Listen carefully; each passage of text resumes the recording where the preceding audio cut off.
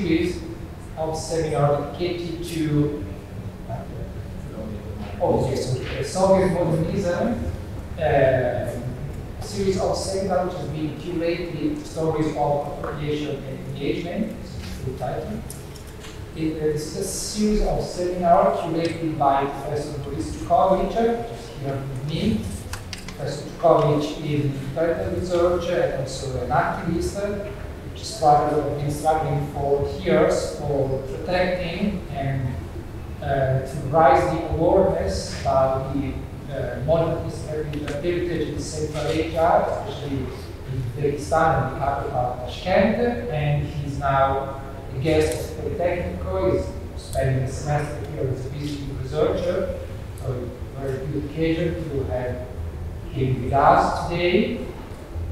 Uh, and this series of seminar is dealing with the task, the issue of managing the relevant legacy of uh, Soviet modernism in different countries uh, once belonging to the USSR galaxy. So we are a number of students, and two of them are here today, uh, thanks to the intervention of uh, uh, Nini Palamardini, I'm sorry for the bad pronunciation of the surname, and Ruben Avestayan mistake, but I hope you just forgive me, uh, which are going to present two brilliant experiences in which the task of managing Soviet modernism was coupled with the intervention and support of an international, or to say US-based agency, the Getty Foundation, uh, with an international program named Keep It Modern, which helped a number of group of researchers and activists around the world to make action for protecting this kind of heritage by drafting of the conservation management plan, which is something that our guest will illustrate better than me in a while. And before letting the floor to Professor Jacobi, just to thank to architect Katerina Gorbaty, which is the, the very leader of all of this initiative regarding Uzbekistan and Tashkent, uh, leader of the research, of which this exposi exposition represents uh, a preview of the early result, and um, is the result of the collaboration between uh, her and his firm, which is named Grace. It is an architectural studio based in Milano. Between us, the Technical Department of Architecture and Urban Studies, a group which is made by me, by Sofia Celli, you already know, by Federica Vero, which is here, and Professor Andreetti, Maurice Djukovic, and the Laboratorio Permanente, which is another uh, quite renewed field in for architecture and urbanism.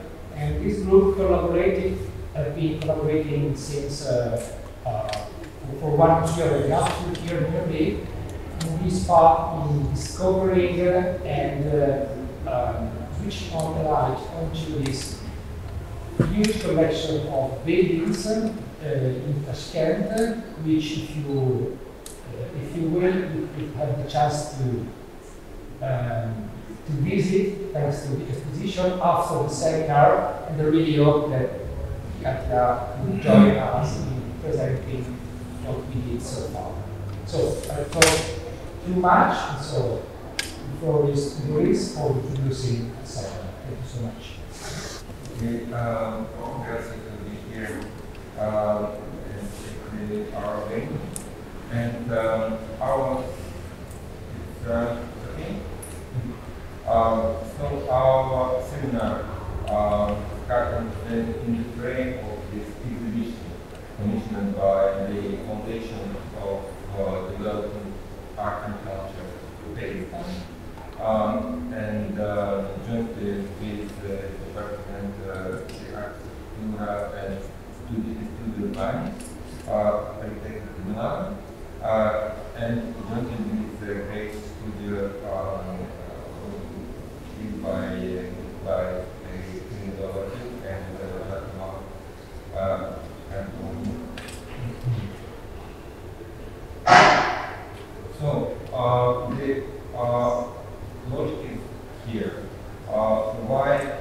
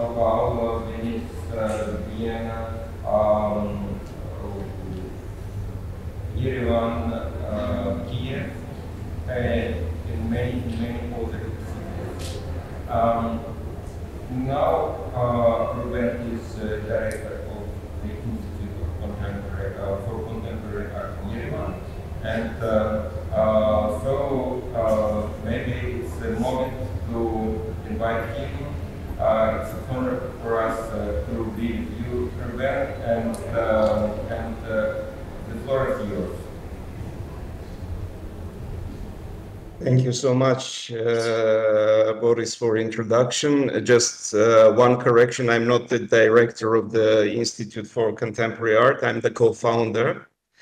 Um, uh, so uh, I, as the time is quite tight and the material is too big, I will switch immediately to the lecture. Okay, uh, so uh, my presentation is going to be divided in two parts. The first part calls conflicting modernities in Soviet Armenian architecture. And the second part, uh, which I hope that I will succeed in terms of time, is going to be about uh, the project uh, of developing the conservation management plan of Sevan Writers Resort. So first part, conflicting modernities in Soviet Armenian architecture. So here you can see the cover of the leaflet uh, of the uh, Armenian National Pavilion in 14th uh, International Architectural Biennale in Venice. And here you can see the poster of the pavilion, the capital of desires called uh, our project. I was uh, the curator together with my uh, friend and colleague Georg Schöllhammer, with whom we uh, curated, led, and put together many exhibitions, led many researches like Sweet 60s, quite an important research. Uh, what was about our pavilion? Our pavilion was telling about like the architecture of Armenia in 20th century, mostly like the Soviet period focused on the Soviet period, but the story was not only about the architecture because uh, we were considering the architecture as a specific kind of like the media through which uh, much broader visions about how the nation, how the society should be organized. And in Armenian case in the 20th century, it was like the very specific moment because uh, in the very beginning of 2000s, Armenia, as many other nations, like the end of 19th century and the beginning of uh, 20th century, started the fight for uh, independence. It was like the big decoloni uh, decolonizing, like the movement going on in Europe. And uh, in the beginning of 2000s, uh, in the beginning of 20th uh, century, Armenia uh, uh, gained its independence. And it was also like the historical chance to reestablish its lost statehood and build new nation state. So architecture in that terms became a very strong, like the ide ideological instrument. So here you can see some views of the our pavilion. Uh, but at the same time, the as the visions concerning the future of the nation state and the future about like the how the society should be built, of course, uh, the uh, in architecture, this ambiguity also found its uh, manifestation. So I would start with the story, which is uh, strangely not connected to the uh, architectural field, but with the literature, because it was 2017 when uh, first time after 1931, uh, uh, the novel of by that, but till 2007, not very much well-known Armenian writer, Mkrtich Armen, has been republished because in 1931, the novel called Yerevan came out and then it was banned. The, that novel was banned for almost almost a century and it was uh, a very uh, important extremely interesting I would say, brilliant surrealistic novel uh, where the story uh, is about architects, how the architects envision actually new, new city, new capital. And they are dealing with the dilemmas actually to keep the old city, to ruin it, what is worth it to keep, um, interesting thing that I mean this uh, discussions, very hard disputes goes between like the two uh, architects and one uh, proposes like the let's say uh, the new approaches in the architectural urban planning. The other is one more conserva uh, conservative in his approaches. But on one, uh, at one point, they are quite of like the agree they should get rid of like the 19th century colonial architecture, which was like the architecture created during the Russian Empire. Very interesting because now this architecture is considered as the most worthy one. However, now I would like to switch. So uh, concerning the novel, what is the interesting thing? Uh, because uh, in the architectural professional communities, specifically in the post-Soviet period, it was being considered that the discourse, the theoretical discourse actually did not uh, existed it was much more kind of like the practical uh, profession uh, dealing with this trend or the other, though the architects were considering themselves as like the great masters, like the producing like the brilliant examples of uh, like the uh, architecture of this or that specific periods of time. But anyhow, I mean, to go deep inside the theoretical background and just to think about it, there was like the public discourse or professional discourse about it.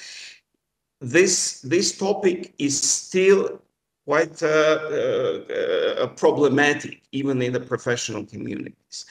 However, the novel proves that the discourse existed. And now I'm switching towards like the story about architects. And here you can see like two important architects, Alexander Tamanyan. Can you see my uh, mouse on the screen?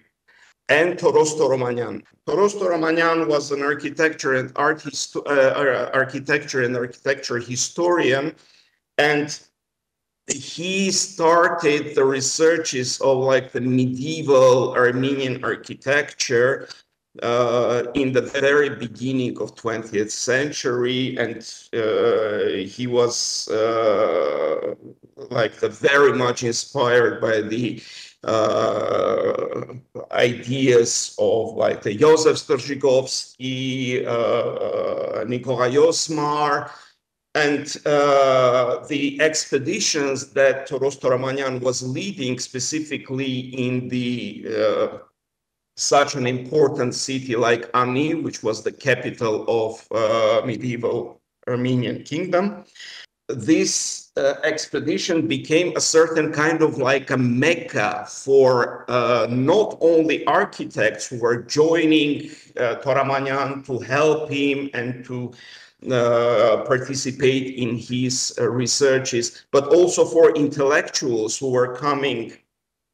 from Russian centers, from Armenia, uh, to see how the history was coming out. And Alexander Tamanyan was one of the architects who were inspired by the activity of Toromanyan. And in 2019, Alexander Tamanyan moved from uh, Russia to newly established First Republic of Armenia uh, as one of many other intellectuals uh, and just people who were like the living uh, uh in Armenian communities in uh, different countries. They started to move back to Armenia and uh, uh, continued their professional uh, professional career there. Then in 2000, so he worked in independent Armenia just for a year. Then there was the Sovietization in 2020, and in 2021, a an extreme terror that started in newly uh, Sovietized Armenia, uh, forced many people, including Alexander Tamanyan, to run. And he escaped to uh, Persia, for uh, several years, he worked in uh, Tabriz. And in 2023, Alexander Tamanyan moving back to Armenia, and he actually. You said that all this 2019, 1920. sorry, sorry, sorry, sorry, sorry, 1923. it's always this confusion between the centuries and millennia. 1923, 1923. He's moving back to Yerevan and actually in 2024, the first master plan of Yerevan that he has proposed was actually the continuation of the project that he developed during the independent Armenia. So let's consider, and this is not only my opinion, it was also opinion of many art historians, architecture historians, also architecture historian like Karen Balyan. So the master plan and actually the visions of a new uh, capital of uh, independent Armenia was actually product of the first republic which found actually its materialization, realization during the Soviet Armenia. Tamanyan's principles were based on the 19th century neoclassicist, uh, Russian neoclassicist uh, school and historicist actually visions where he inspired by the ideas of Toros Toromanyan, the same Strzygowski, the same uh, Nikolai Osmar. He um, uh, suggested uh, quite interesting, I mean, but at the same time, well known in the 19th century European architecture approach to combine the uh, technologies, new uh, constructive technologies uh, with the historicist, uh, uh, with the historical uh, background of the region where he was building, where he was like realizing his constructions. But the major political aspect of that of that approach was just to find in the to fill the historical gap of the social political cultural and historical actually interruption that had happened to the nation. And uh, as uh, interrupting point uh, Tamanyan considered like the medieval uh, medieval period and uh, from the medieval period what he has depicted was like the cleric architecture the church architecture specifically focusing on the researches of Toromanyan and uh, that he was doing in Ani also the researches which were like he was realizing in Pekor, in Fin, uh, coming back to this image, please keep in mind, I mean, the structure here, you can see like the, the project uh, of Alexander Tamanyan of the Iber Lake uh, electric substation. But this is an important image because soon I'm going to make the reference on it. Here you can see the uh, governmental, the, the, the, the, governmental, the project of the governmental house that was designed in 1926, but the realization of the of the building only was completed in 1952 because the uh, interesting part of that, that Tamanyan is being considered as a founder of, so to say, like a new national school. But uh, one part of the history of that period was skipped out and um, uh, and it's actually about the other the other uh, school or the other uh, circle of the architects who were like the working parallel in the same period of time and were opposing to the visions of Alexander Tamanyan. Uh, but the thing is that that the appreciation of Tamanyan was quite uh, quite uh, ambig ambiguous. Uh, not he was not being like the accepted uh, like the fully by the professional community uh, in his own time. I mean, some people were like they're really admiring him, but for some uh, of his colleagues, uh, he was really outdated in his principles and ideas. But the other important thing is that that I mean, in the the political appreciation, what Tamanyan was doing was also quite ambitious. At a certain part, he was well accepted.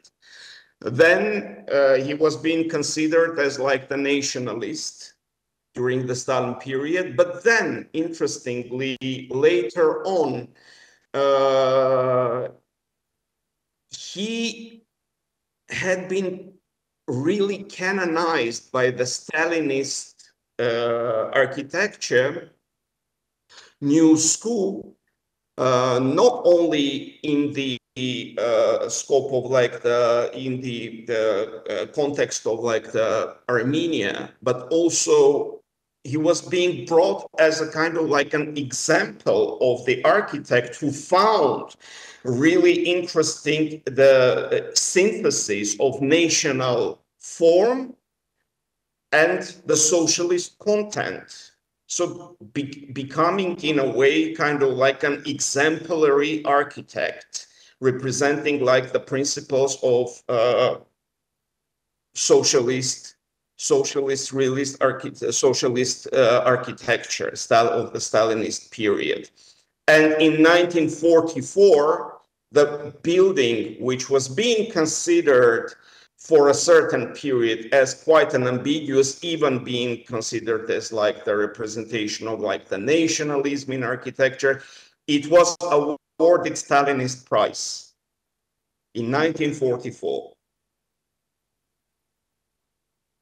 Here you can see uh, another important building that uh, Tamanyan had designed. It was the People's House, which was later uh, turned into the Academic Theater and Opera and Ballet. Uh, designed in 1926, realized uh, in 1936, where you can see the, also in this in uh, first project like the evolution from the neoclassicism to the implementation of different uh, elements taken from like a medieval architecture medieval armenian architecture and all the compositional principles the uh, sense of volume uh, it was also coming up in a way from the researches uh, of like the uh, medieval architectural period, specifically dealing with the cleric architecture. And here we're coming to like the shifting moments. Uh, here you can see uh, the flyer and flyer invitation card to the lecture discussion called The Course of Our Architecture by Mikhail Mazmanyan. It's 1928. 1928, and the architect uh, has just returned, Mikhail Mazmanyan just returned from Russia, uh, from Moscow, the graduate of VKhUTEMAS. Uh, we'll show you the photo and the photo of his colleagues a bit later, but please, uh, I would like to invite your attention uh, beyond the, what is written here on the images. Here on the right side, you can see one of the one of the project proposals of uh, the People's House. And here you can see by Alexander Tamanyan, and here you can see the uh, comparisons that Mikhail Mazmanyan gives here. Like here you see the roof, the cupola. Here you can see other um, buildings which were designed uh, previously, having almost the same uh, kind of like the compositional structure. And in the bottom, you can see how Mikhail Mazmanyan making a comparison with the conic cowl of like the celibate Armenian clergies. And in the text, he's directly just uh, making uh, the comparison of, so to say, from his per perspective, like the new national Armenian architectural style with the feudalic, cleric feudalic culture. And from here, I would like to go further. Here you can see Mikhail Mazmanyan. The photo was made in 1920s, who studied in VKhUTEMAS, and VKhUTEIN was the student of Ladovsky. And here you can also see his close friends, colleagues,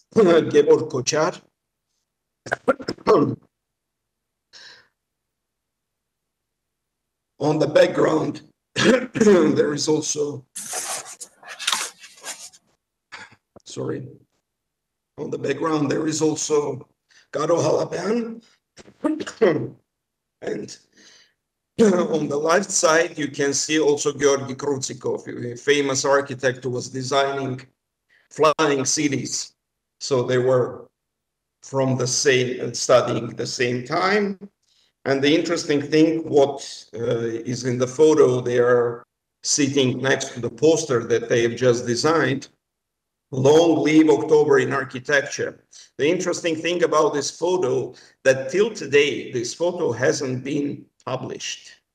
I mean, I used it several times in my exhibitions uh, but uh, in the Soviet architecture books, this photo was absent, though you can consider that it's kind of like the most emblematic image that could show like the, the relation of the young Armenian architects to the Soviet culture. But the books were written during the Stalinist period or later and the attitude towards the revolutionary architecture by that time already had radically changed.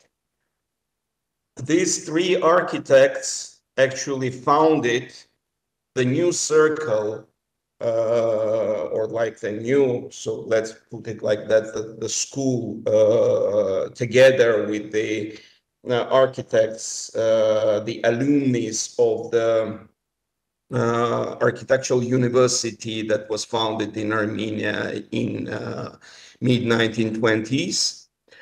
And uh, here you can see the projects that they were proposing. This is like the first communal house in Armenia, in who designed for for uh, the house for workers of mechanical factory in Yerevan, architects Garo Halabyan and Mikhail Mazmanyan. Here you can see the Construction Workers Club in Yerevan, Garo Halabyan, Gevorg Kochar, Mikhail Mazmanyan, like this tri uh, triad of the architects, close friends.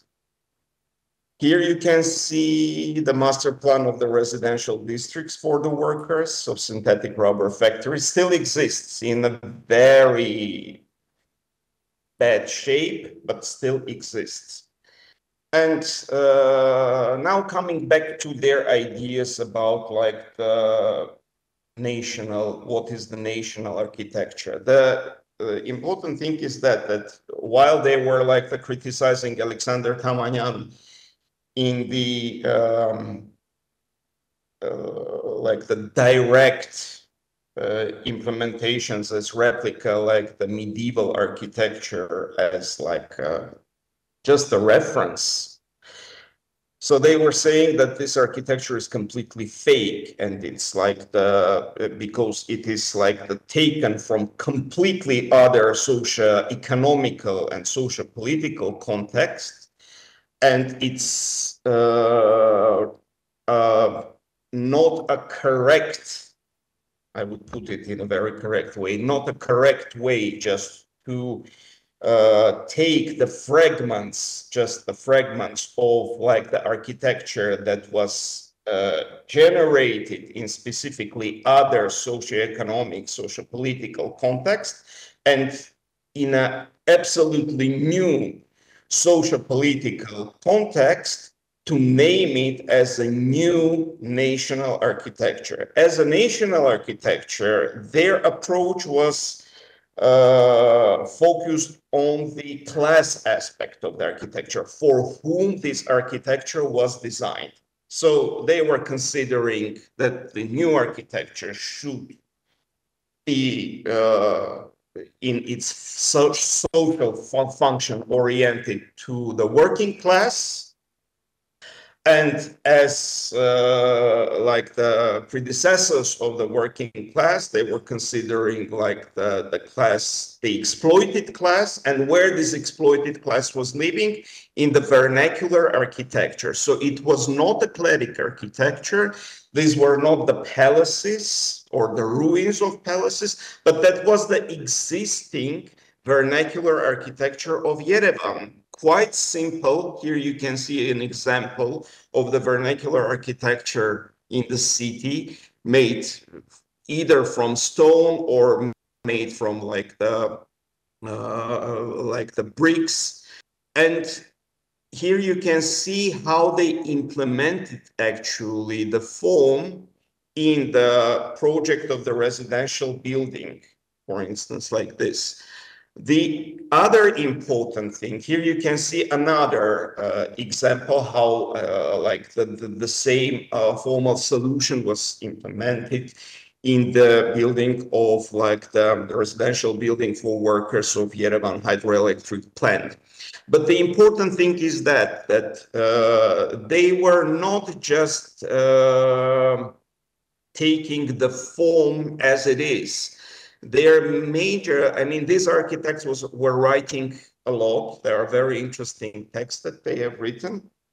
And one of the uh, things that they were like the observations about like the national architecture and the vernacular architecture is the exploration of how the space was organized. The space for the specific class, uh, how the specific class was organizing his living the uh, and how functionally the space was organized. Uh, uh, for instance, uh, the other uh, technique of space organization, which was also quite common for like the region, not only for Armenia, but also for Georgia, any other uh, like the culture or context, which like the lives in the mountains, uh, the terrace type buildings where the roof of one building can serve as a yard for the building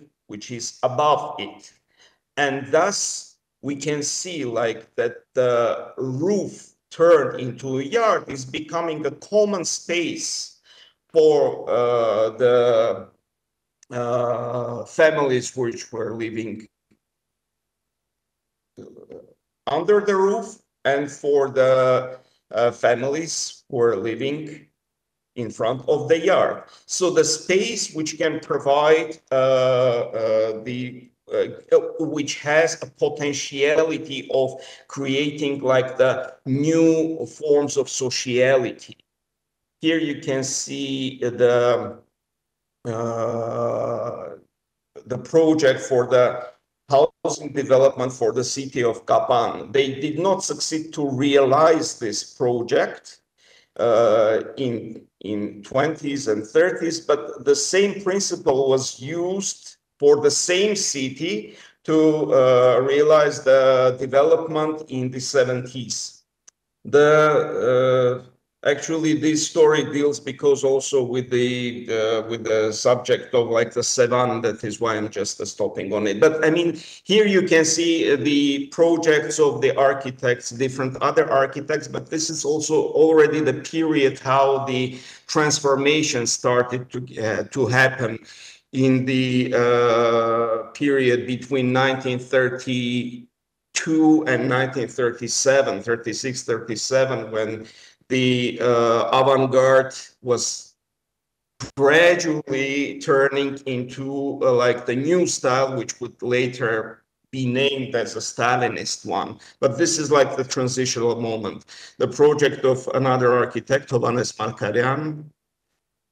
Here you can see another project in the transitory state designed in one way, but uh, completed in completely other way.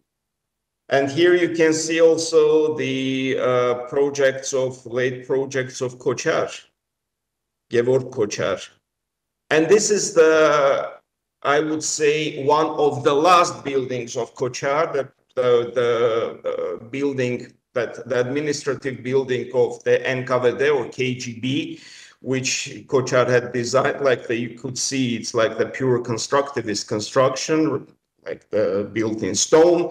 And the ironic thing that uh, in the same building in 1937, Kochar and Mazmanyan were imprisoned for a certain period of time. And this is the last project of Mikhail Mazmanyan and Hovhannes Markaryan. In 1937, both architects, the, Mikhail Mazmanyan and Gevorg Kochar, were arrested and sent to uh, Siberia. But talking about the very last project of Gevorg Kochar, I would like to invite your attention on this building. This is like the wine cellars of Ararat Trust. He did it together with the architect of a younger generation, Rafael Israelian, uh, the story about whom will come up later. It's an important architect. So uh, you can see that, I mean, the character of the building is also completely, I mean, in the same logic, but I mean, it's really distinct it's really distinct, talking about like the national forms, but uh, again, the reference towards historicism, but at the same time, it's a bit different and about difference I will tell later. Okay. Another Uh, the building, which was designed by the same architect, Rafael Israelian, he was not exiled, he was young, he was like the, he continued his career uh, during the Stalinist period. And in 1944, when the war was still not over, he was already commissioned to uh, design the monument of the victory, the museum of the victory in the World War II or Patriotic War, as it was called. So the museum was topped with the huge monument of Stalin. And here you can see the transformation that had happened with the same building. The monument was replaced. Mother came to uh, substitute father. But in terms of like the, uh, so to say, the attitudes and the intentions, uh, I would say the difference was minor. From here, I'm going to switch the periods. Uh, the switch the periods about this transformation. You can find my text uh, online called Blank Zones in the Collective Memory. You just can Google and find it. It will tell you a lot about the transformations, not only in Armenia, but it's tells partly something also about like the Georgian uh, situation and the general situation, the, the, the logic of the transition. But Stalinist epoch. So we're jumping this period over this period and uh, going to 1955. 1955, uh, uh, the year when uh, many of the imprisoned architects were not only architects, people during that under the Stalinist repressions, they were rehabilitated and got back. So among them were Mikhail Mazmanyan and Kochar. So here you can see how after getting back to Armenia, Mikhail Mazmanyan actively uh, integrated into the professional uh, community and the activities. And his major uh, so involvement was in the urban planning. And this is like the master plan of the Ajapnyak residential district, which complete, uh, which has a direct connection to the crucial politics of like the mass housing. And these are like the examples of the local development of like the mass housing. Uh, the architect Samvel Safarian, another important architect, which also comes from the avant-garde.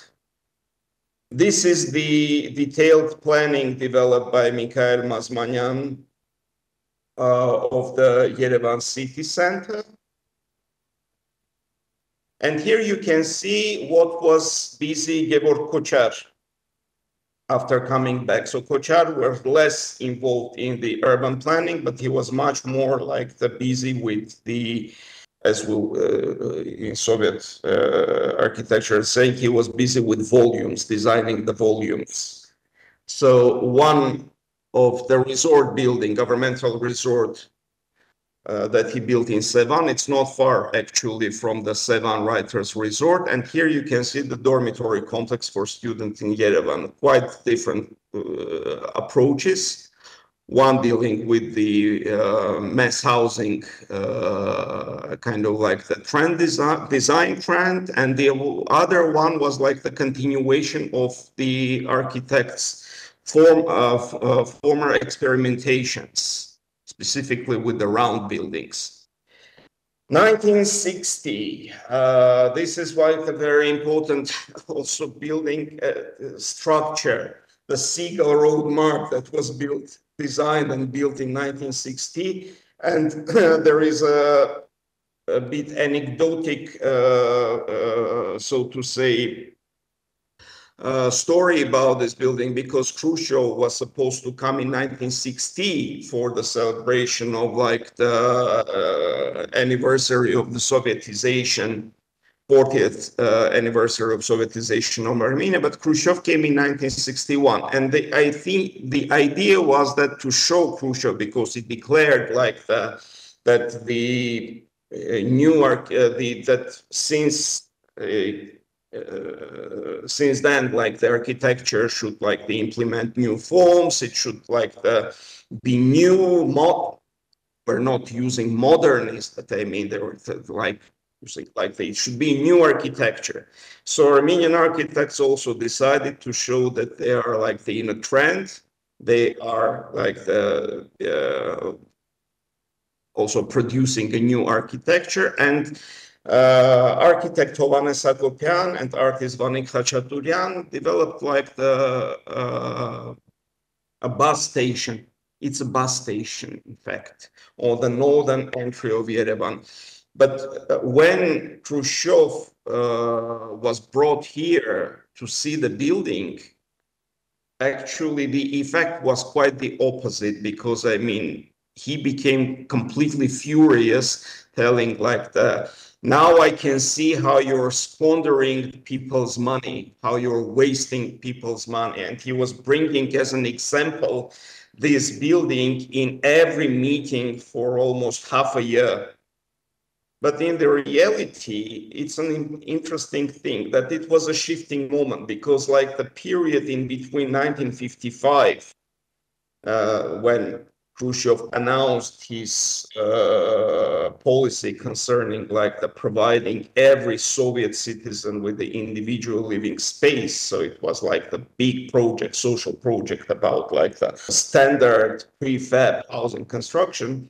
Architects gradually started, not only in Armenia, but in the other uh, republics as well, started to find out the ways to bypass these quite strict regulations and using the same amount of money or like the combining money from other budget, but to create new forms to make the architecture more interesting. And this was one of these cases. It was a really low budget construction, but which had like the effect positive and, and as we see in Khrushchev's case, quite unexpected negative. But uh, starting from the 60s period, the city started to change. Not only Yerevan, but also in like the regional cities. Also, the the, the certain uh, architecture that appeared in the regions, not importantly in, in, in the villages, but sometimes in the landscapes, uh, there were coming up real pearls of like the modernist architecture of that period that were bearing absolutely different philosophy. The, the space in the city started to uh, get like the really human face, but at the same time, interestingly, it was completely oriented towards like the international modernist style of the period of 50s and the 60s. Here you can see like the implementation of geometrical abstractions, another wonderful example of like the uh, small forms uh, used in the uh, city uh, city landscapes. Beautiful architecture by uh, not really well-known architect, but I mean researching this architect for quite a long time, Levon Cherkezyan the flower pavilion on Sayat Nova Street. You can see like the exterior, you can see the interior, and you can also see like the one of the variants of this pavilion where the water was flowing down from exterior to interior. And you can see here, it was the same, like the water from the exterior was going into the interior making this very subtle connection. In, general, I mean, I mean this uh, idea of like to, to, make the architecture much more organic, despite where it was in the city or like the, in the in, in like the um, wild landscape here you can see for instance like the, the project of Levon Cherkezyan it's the cottage hotel on Sevan Lake and another fabulous from my point of view, like the example, like the very elegant, very minimalist viewing platform in Sevan.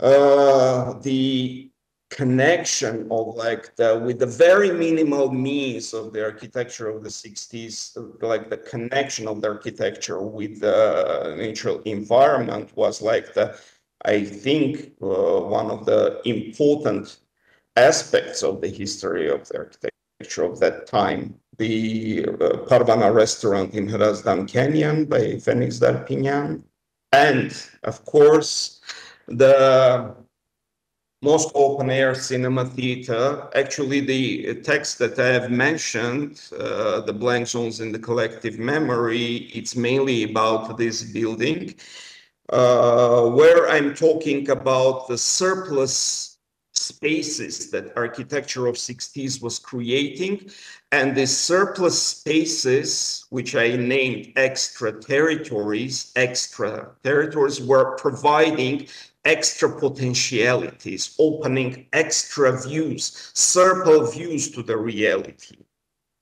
here you can see the uh, different different uh, angles from where the cinema theater was like the uh, photographed. Another architecture from that time later, chess player house in Yerevan, architect Jana Meshcheryakova, 1967. And we're getting already to the end of the period. Now, another pearl, which is completely gone, a Cafe Aragast sale, which was designed as a complex. It was like the very minimalist architecture, designed as a part uh, of like the uh, development of the segment of the circular boulevard the architect, by the way, was uh, a woman architect, very talented, great architect, Margarita Hairapetian.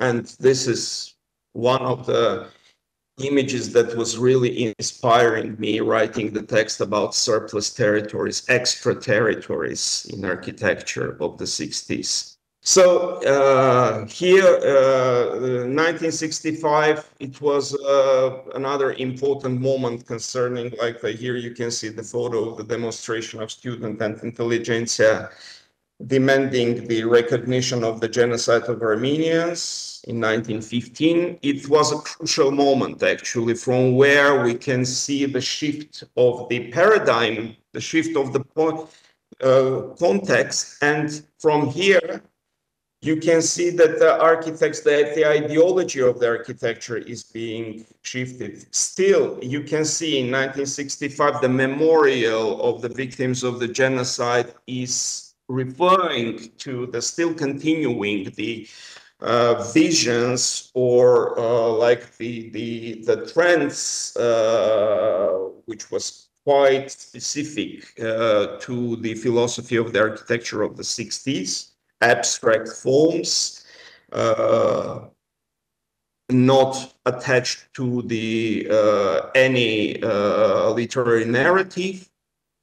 But then were confronting absolutely different architecture. 1968, this memorial, which was designed by the same architect who together Kochar, with Kochar designed the wine cellars and then the Stalin monument, Rafael Israelian, he designed uh, the memorial complex of Sardarapat battleship. It's a paradoxical actually case where in the Soviet time, there was designed a memorial to a historical moment connected to the establishment of the First Republic, because Sardarapat battleship was the battleship after which the First Republic was established. And the effect of this uh, aesthetics, new aesthetics that Israelian brought, had the effect of like the real bomb, because it completely changed the trend. You can since then forget about like the international modernist style. Even certain architects, like one of the co-authors of like the Moscow open air cinema hall, Telman Gevorkyan, he quit for a period his practice and started to really think what he was doing. So he start he went into the researches, he went to like the history and uh, trying to figure out what is the national essence of the architecture. Rafael Israelian. And here you can see the continuation, the extension of like the memorial, the ethnographic museum.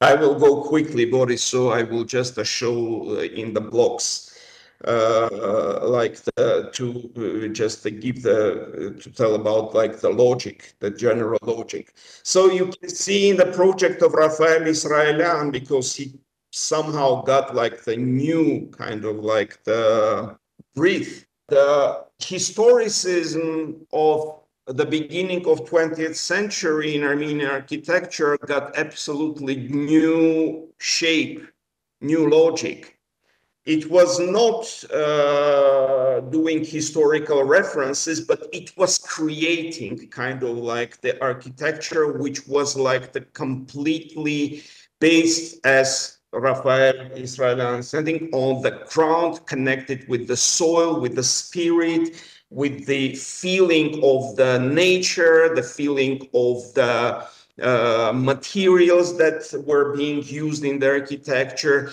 and specific uh, specific experience, cultural experience. So we're talking now about a specific cultural determinism or essentialism that came not only in architecture, but became a strong part of like the cultural discourse of that period. But the way how the spirit is being uh, represented and through what kind of like the very interesting combinations. Like the modernism as you can see in the viewing platform offered him as a proposals and the uh, building of the restaurant Zovinar, where you can see like the, the somehow the certain reference towards like the medieval castle architecture, but at the same time, the complete spirit of like the modernist era of 60s, the, the modernist spirit of the 60s. Here, that's a, I think, a very good comparison, like the, on the same landscape, two very different modernist buildings in their spirit. But the other interesting aspect of uh, Israelian, it was like the how he was like the really inventing new vernacularity. It was a real modernist approach, completely modernist approach. He was really experimenting and inventing it, not through the researches, but through the just creating it. Oh, uh, this ambiguity actually that came in the architecture and this doubtfulness that the architects experienced in their creations, in their experience, became uh, somehow like the basis, like the five, five, six more minutes, Boris, huh?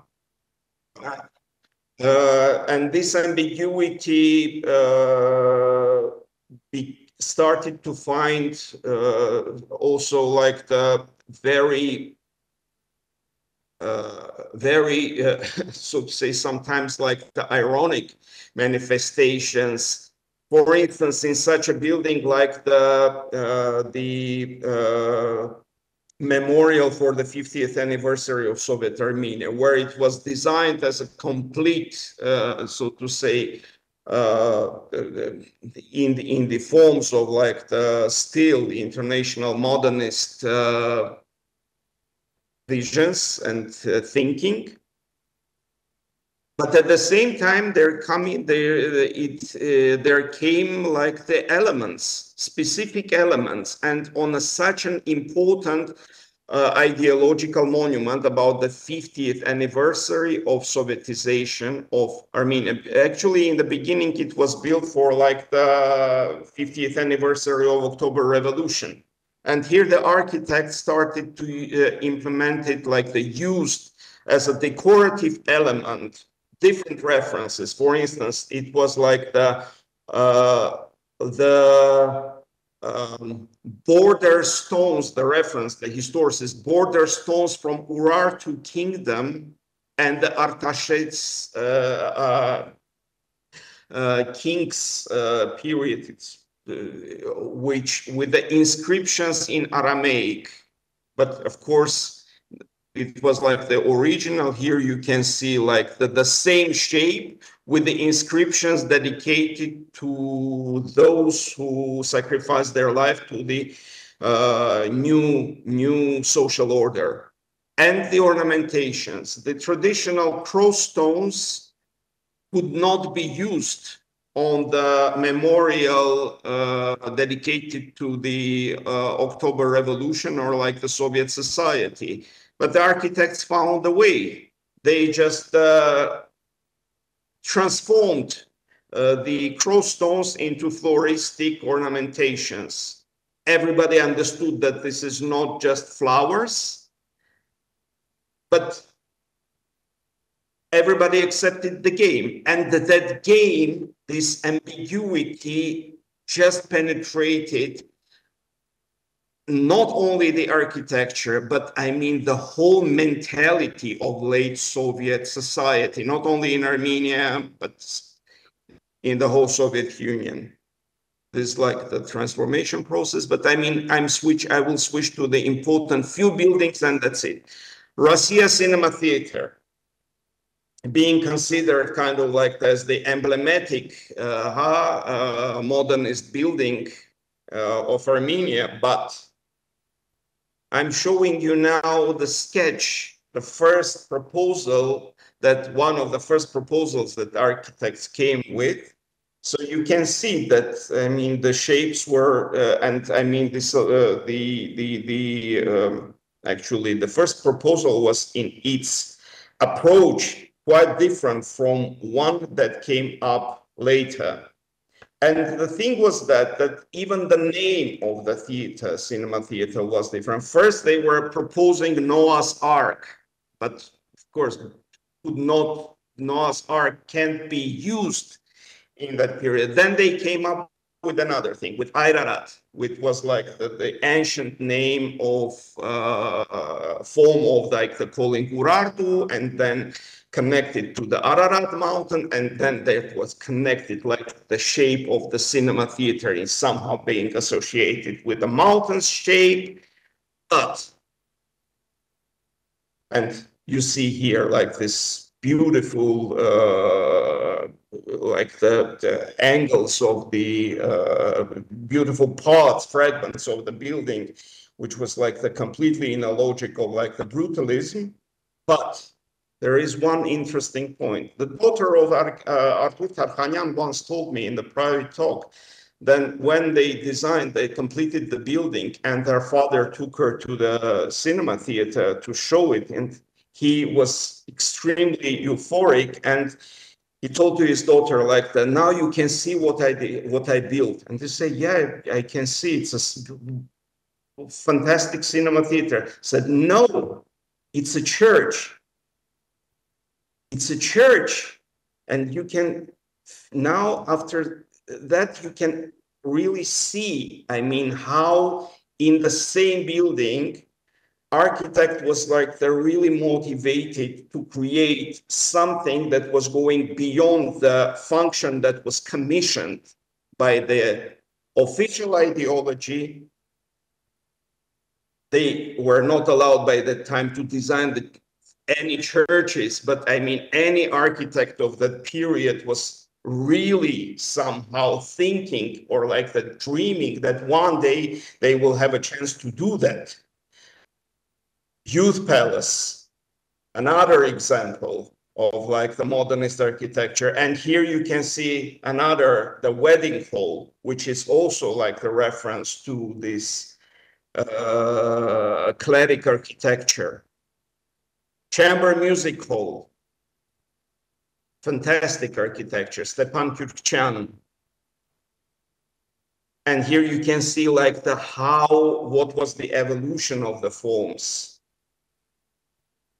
But this ambiguity uh, of the ideological approaches, uh, the philosophical approaches regarding like the um, uh, architecture and this ambiguity could be represented, could find its place in one building, but also it's finding the place in the practice of the architects because like the same architect, Stepan Kyurkchyan at the same time was designing very kind of like the functional in its uh, way of thinking in terms of like the composition, brilliant subway station, uh, Yerita and in terms of ambiguous uh, ideology and philosophy, I think the, the best one is this huge, enormous building cascade.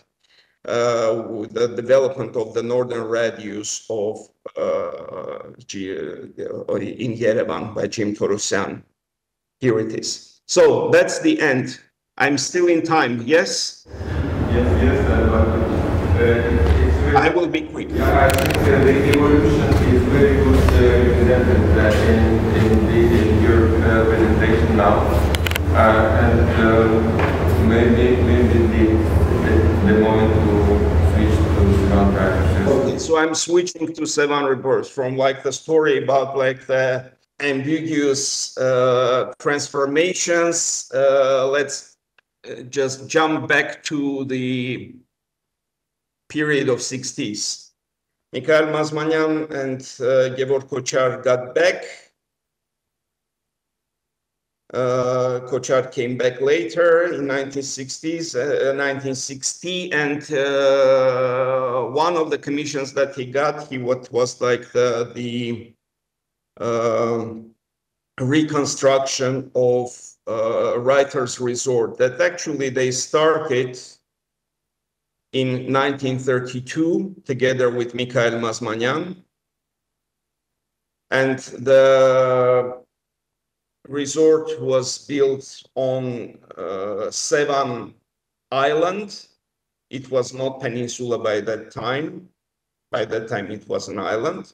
And here you can see the first project that they have suggested for just like the guest house. Here you can see the model.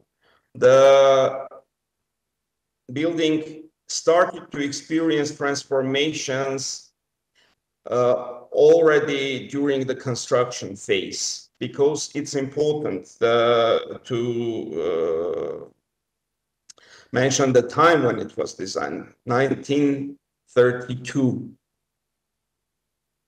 i think it's a wrong caption here in terms of like the time 1932. The 1932, uh, when uh, Stalin came out with his uh, famous uh, decree concerning like the reconfiguration or like the reshaping of like the creative unions, which heralded the beginning of like the Stalinist policy the uh, the avant-garde started to get banned, started to get demonized, and uh, the building started to get transformed in the projects and in the construction phases. The same happened to this building.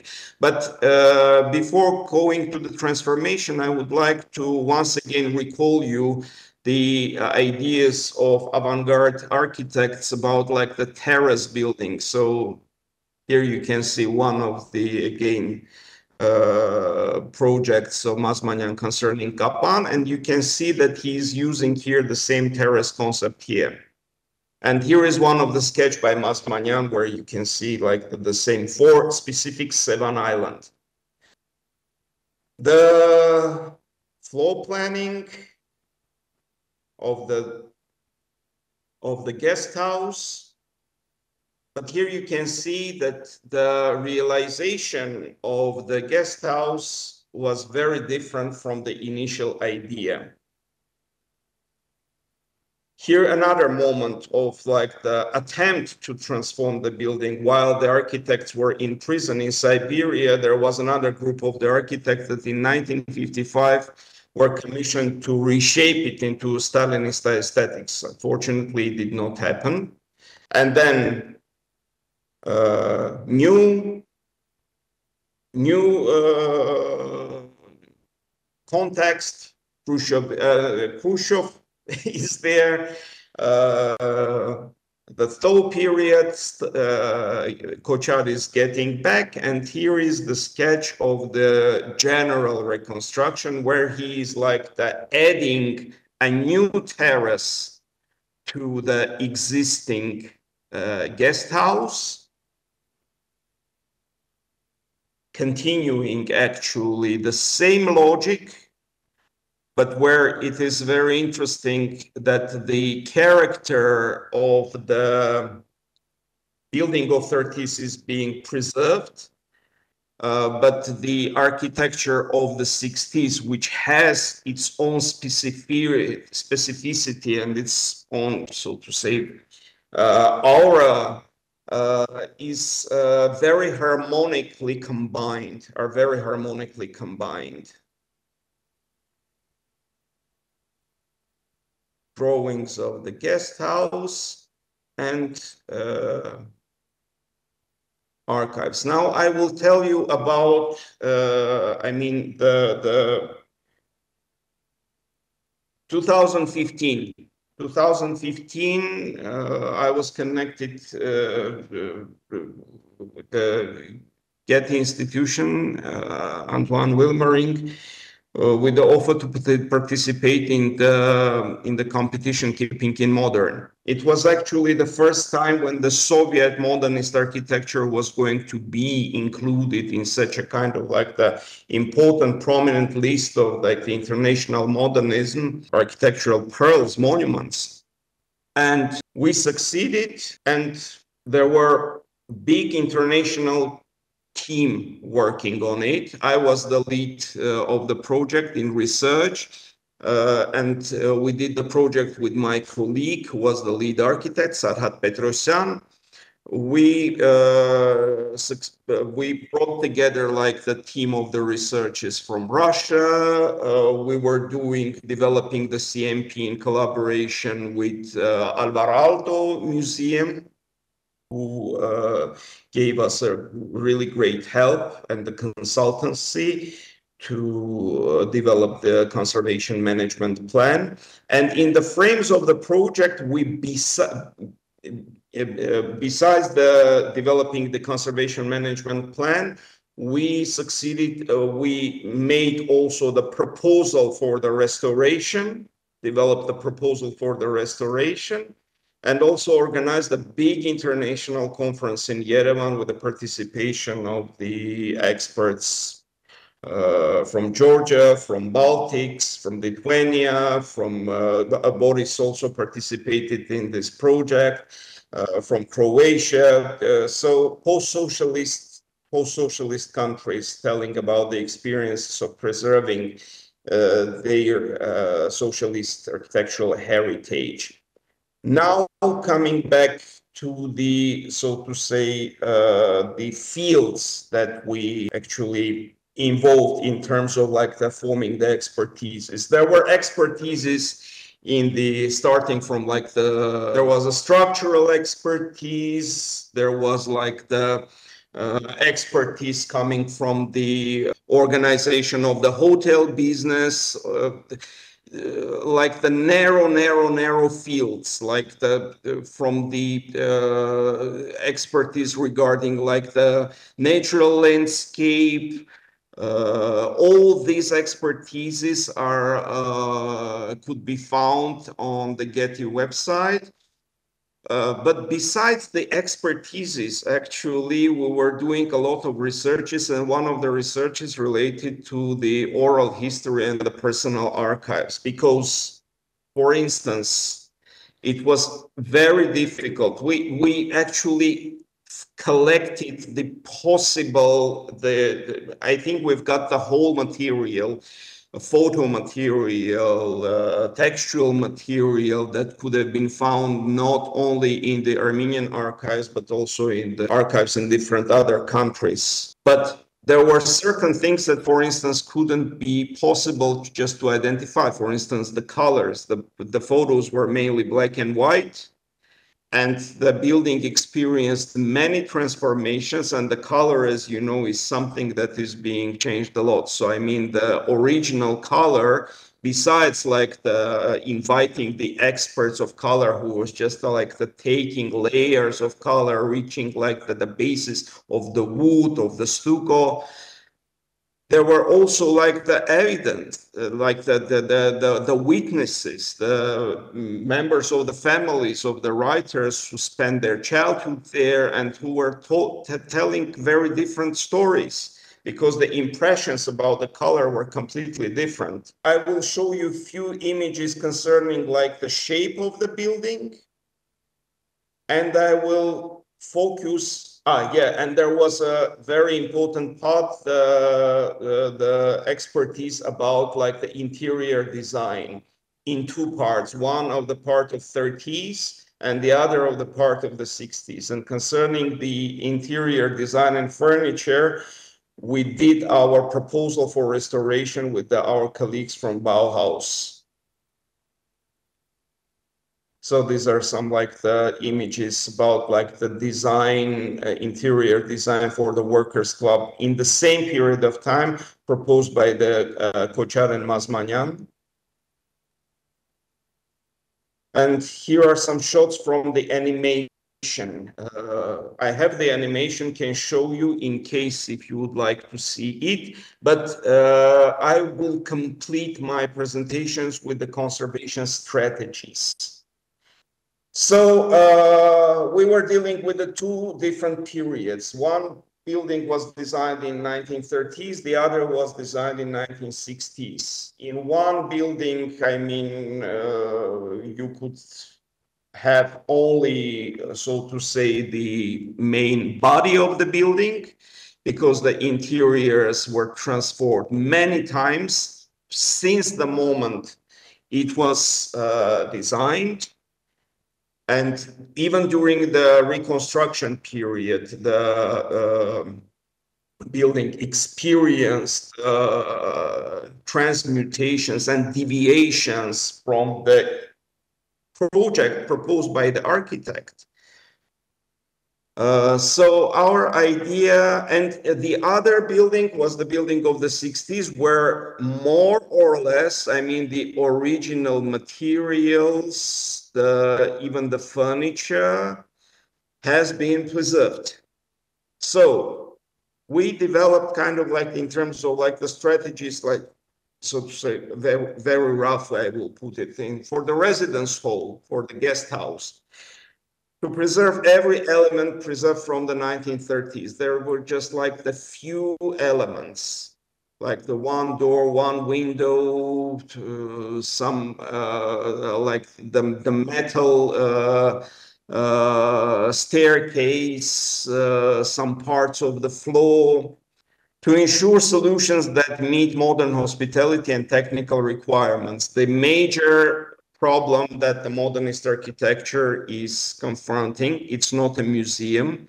It's not a medieval castle. You cannot close it, lock it. It's the building in function. So it's important how to uh, adapt it to the new needs. To try to redesign internal spaces, including furnishing. So this was the major uh, challenge so to say that we confronted, but we somehow uh, succeeded from my perspective. Uh, now the launch bar. So in launch bar, the, in the launch, not the launch bar, sorry, the, in the launch, in the in the canteen, the uh, challenges were like the the, the uh, it were less because I, as I said, like a lot of things get preserved to restore and to reuse the structure which retained its original condition almost without any impairment to its original design solutions.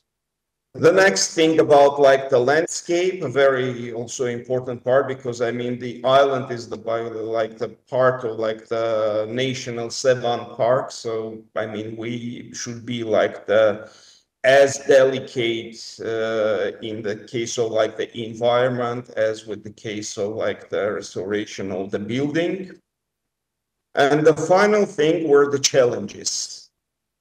The cha challenges concern, uh, related to the sustainability, as I mentioned, surrounding landscape, amenities, which or pools, I mean this is natural, and the accessibility was another challenge because like the, it's the resort is located on a quite steep hill and interior design and furniture. So if I have time, I can go with the video. Here we go. Can you, can you see it now? Okay, so uh, the animation shows you like the, the evolution of the building since it was built. Now you will see it. And the proposals actually for the reconstruction we're coming with. So it's much easy to take a look.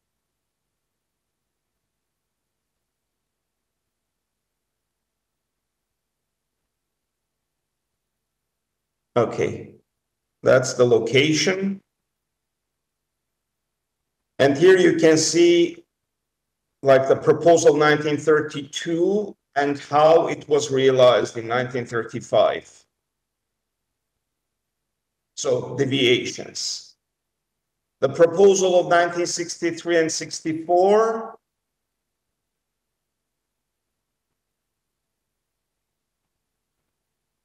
and how it was realized with what kind of like the deviations. And our main point was just to go to the proposals of the architects that were by this or that reasons were not completed. And this was something that we discussed a lot with our colleagues. And if you remember, Boris, it was our final discussion on spot where we were like the, with this whole group we're from Getty Foundation, from Alvar Museum, and our team were like the talking about like the how to uh, as a approach for the restoration uh, just to uh, somehow bypass the uh, given by the history reality that we're confronting now and go back to the ideas offered by the architects.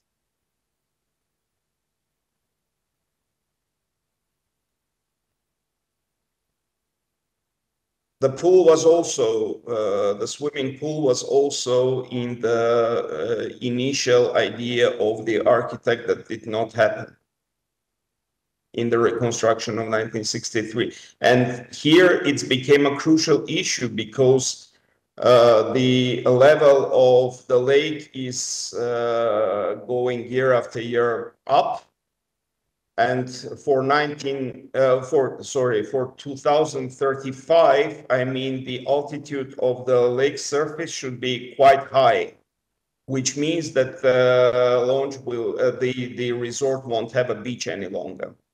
So here you can see that we got back also to the initial planning the space organization because now the spaces are completely changed I mean, sometimes you're having like the two rooms turned into one room uh, with a horrible planning and a horrible design. So uh, the idea is to get back to the initial uh, principle of the spatial organization.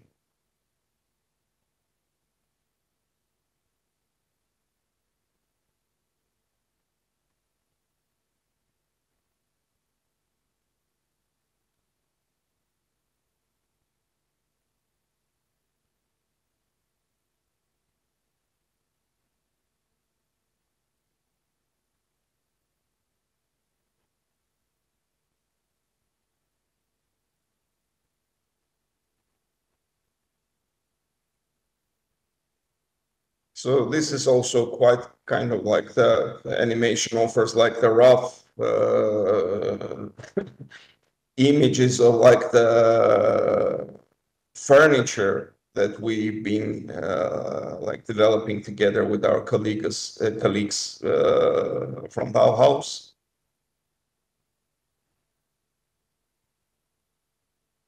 And as you see, even in the uh, building, which has like the, so to say, two layers, one layer belongs to like the 30s, the other layer belongs to the 60s. The furniture is also mixed. So there is like the furniture newly built, but actually like the continuing, like the replicating the principles of like the functionalist furniture of that period of time but not the fake with it's not a vintage it's a new furniture so we're not faking it. And at the same time like the furniture which can be like the original uh, which could be found the furniture from the 60s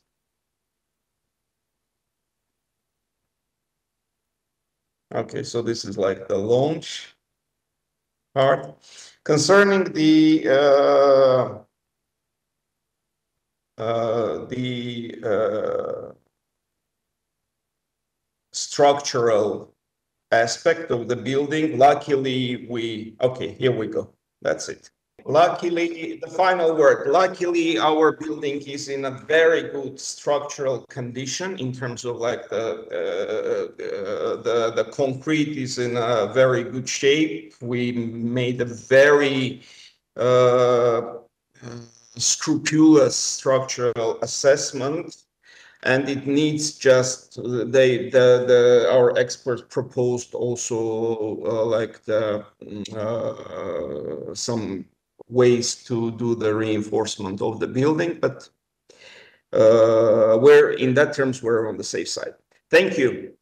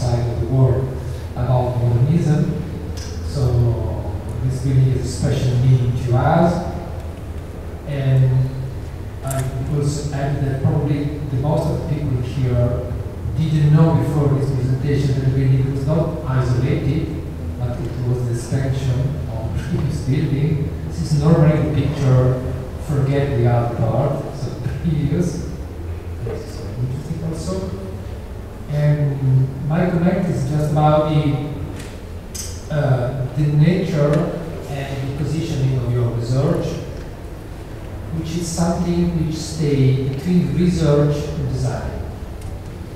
Uh, it is meaning of the conservation management plan. It is something stating, uh, well, helping to state what matters and what are the key elements of the site and building to be cared, and then to set a strategy for planning next steps, assessing priorities, and preparing.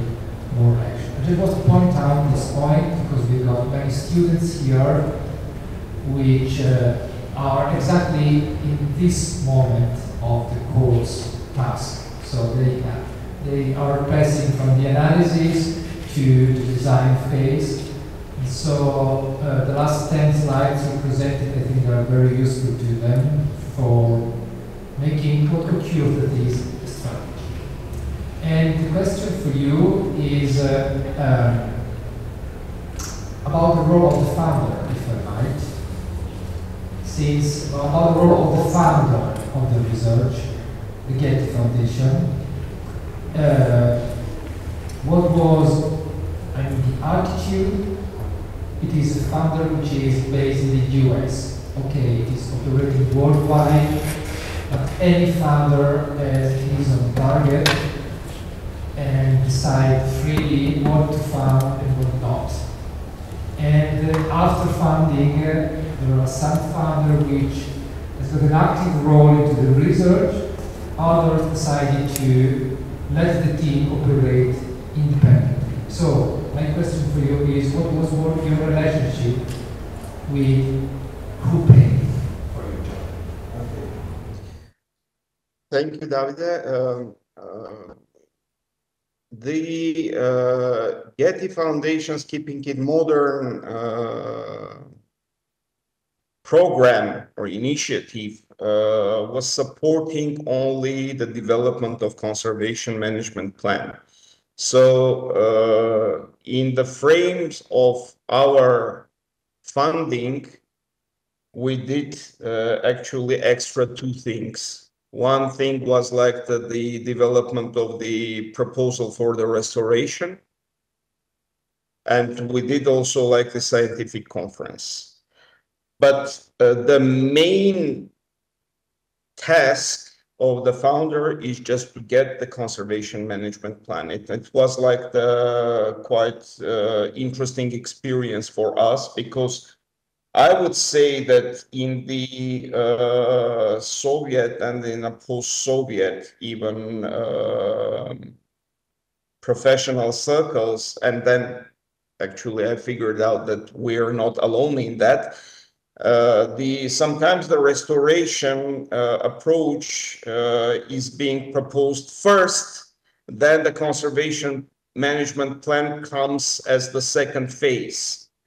Well, I mean, in the uh, in our uh, working experience with Getty Foundation, which was not only funding us but also like was really helpful in their expertises in their consultancy, and uh, they supported a lot during the process. Uh, one thing that we learned, it was like that the conservation management plan comes first, and on the basis on the conservation management plan, the restoration proposal comes out. That was something very new, actually, for us, but um, the project has been finished and the CMP is there.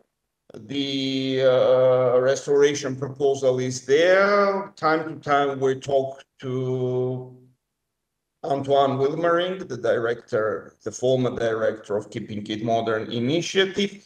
But with that, the relation with the funder is over because they funded the development of CMP and that's it concerning the future of the project, I mean, it's one of the emblematic buildings. It already has kind of like the, the stamp, approval stamp from Getty Foundation, but what will happen with the physical restoration, it's still a question for us because after that we confronted revolution, then we had war in 2020. There was also COVID period.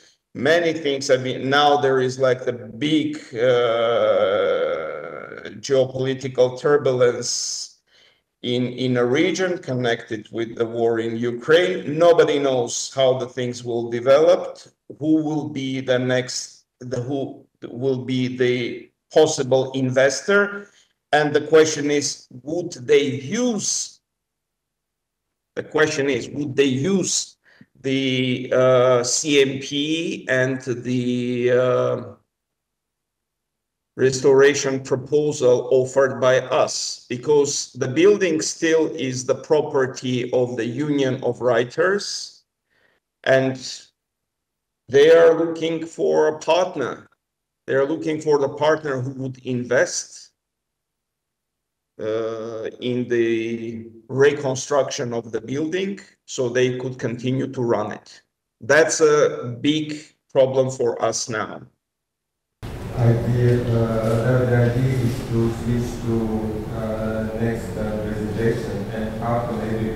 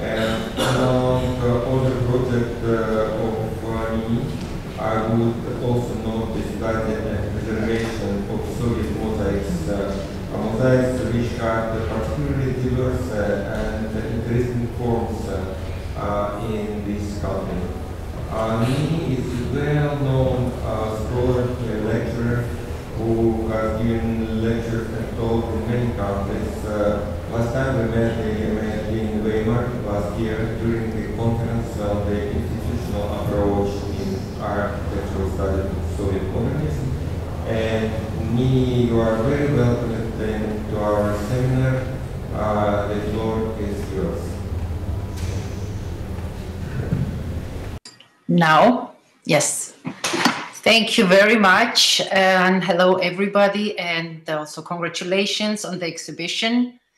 And thanks for inviting uh, to this talk. I should just make very short remark that uh, for the uh, Keeping It Modern project with the chess fellows, I was not the project coordinator. I was just responsible for the research, but I will also come to this uh, topic later.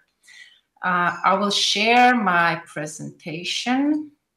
So uh, the topic uh, of our lecture today is, I mean, as mentioned, late Soviet or late socialist modernism, Georgia, and uh, uh there will be also quite some references and links to what uh, Ruben has uh, talked about. So I'm sure we will have regarding this also maybe interesting discussion afterwards. so um, uh, before coming to 1960s, I want to make a very short overview of what was preceding it. And I will be mostly speaking about Tbilisi, uh, capital of Georgia. Uh, before 1920s, the appearance of Tbilisi was mainly shaped by international architects from Germany, Italy, Poland, Russia, and so on. In 1921, uh, Russian Red Army, uh, army entered uh, Georgia. The social democratic government had to uh, flee, and consecutively, a Bolshevik uh, regime was uh, established. Sorry, sorry, it was too fast. Ah, yes. So obviously, Tbilisi's present spatial structure is a product of a long historical process and development. City's territorial expansion mostly occurred during Soviet times. Uh, between 1921 and 1991, Tbilisi expanded six times in terms of population and 10 times in terms of uh, incorporated territory. Uh, capital city develop, uh, developed according to three uh, master plans in uh, first in 1934, second in 1952, and the third in 1970. The first master plan mainly concentrated on reconstruction and improvement of existing areas, as well as planning of new housing estates next to building new residential houses. New type of architectural construction, such as worker clubs, kindergartens, cultural uh, institutions, recreational parks, found its entry in uh, Tbilisi. The second master plan considered expansion of Tbilisi and building new streets, avenues, and embankment mainly along the river from uh, east uh, to west, so mainly um, like on this territory. In 1950s, it's predominantly characterized by mastering free territories for new mass housing areas. The third master plan, introduced in uh, 1970, was foreseen city development not only along the river, but its expansion towards north, towards Tbilisi Sea, so basically all these uh, territories.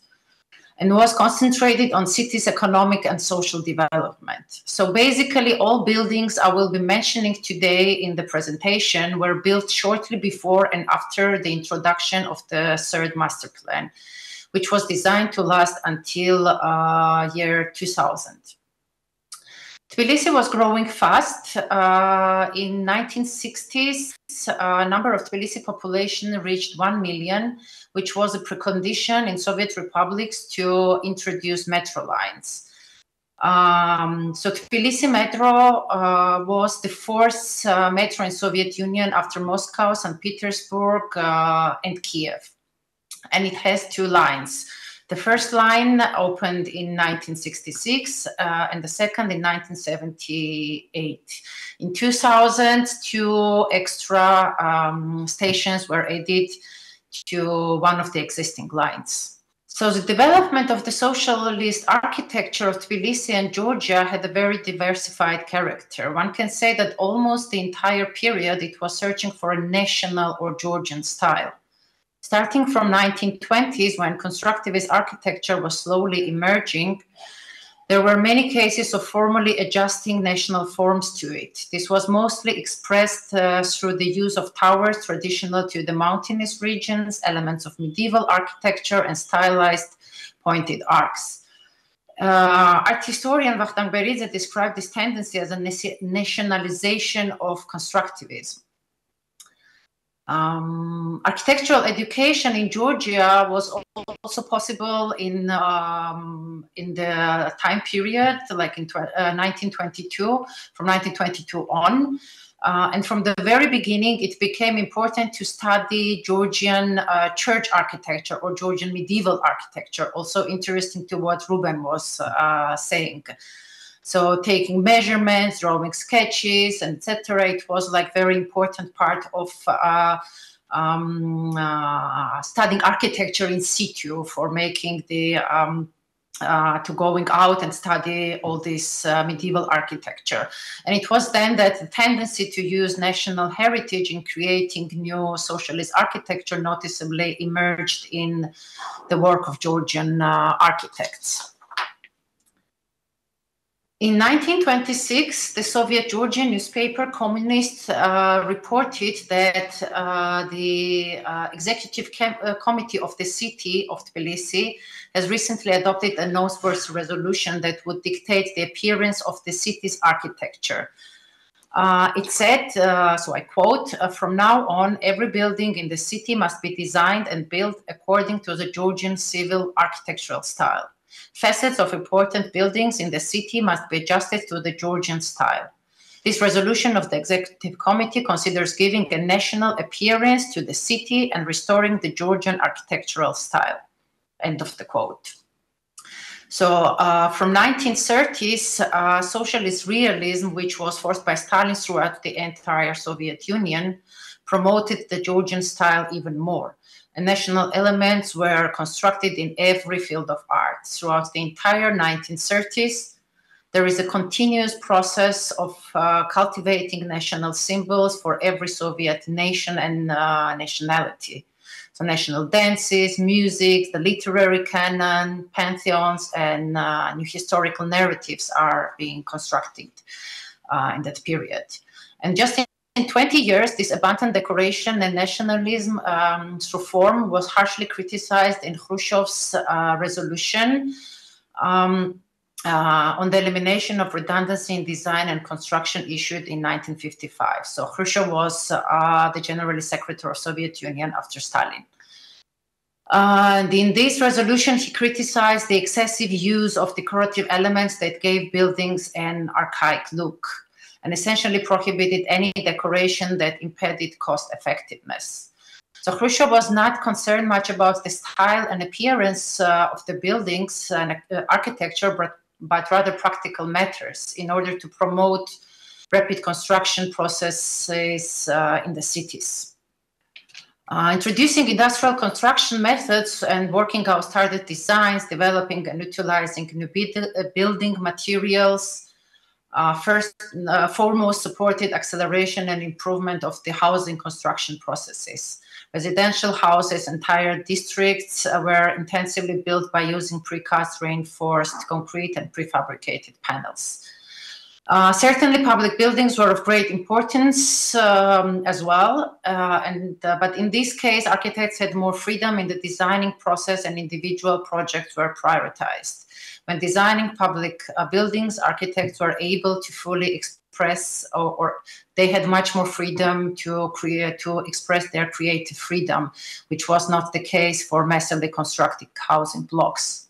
Uh, and so I want to start my presentation with uh, one of the uh, earliest examples of the transitional period from uh, Stalin era uh, to socialist modernism, so-called uh, wedding house. It is interesting because it stands right opposite to a building built in 1955. And the other one was built in 1960, only five years after Khrushchev's above mentioned uh, resolution.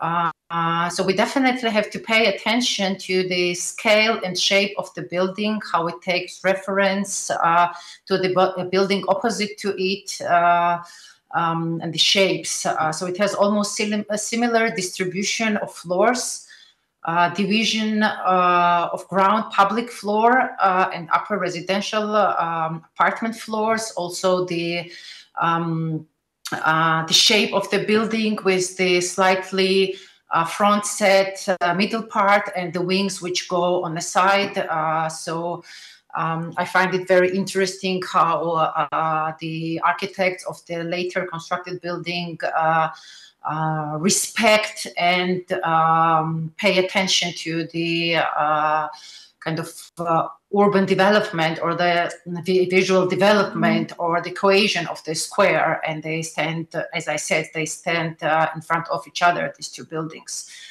um, the vertical um, uh, division of the buildings uh, building is marked with rows of a precast uh, ornament resembling uh, grapes the part of the wedding house which is placed in the ground floor, ground floor is more richly decorated. Uh, so the entrance was marked with a large-scale bas-relief uh, of a family.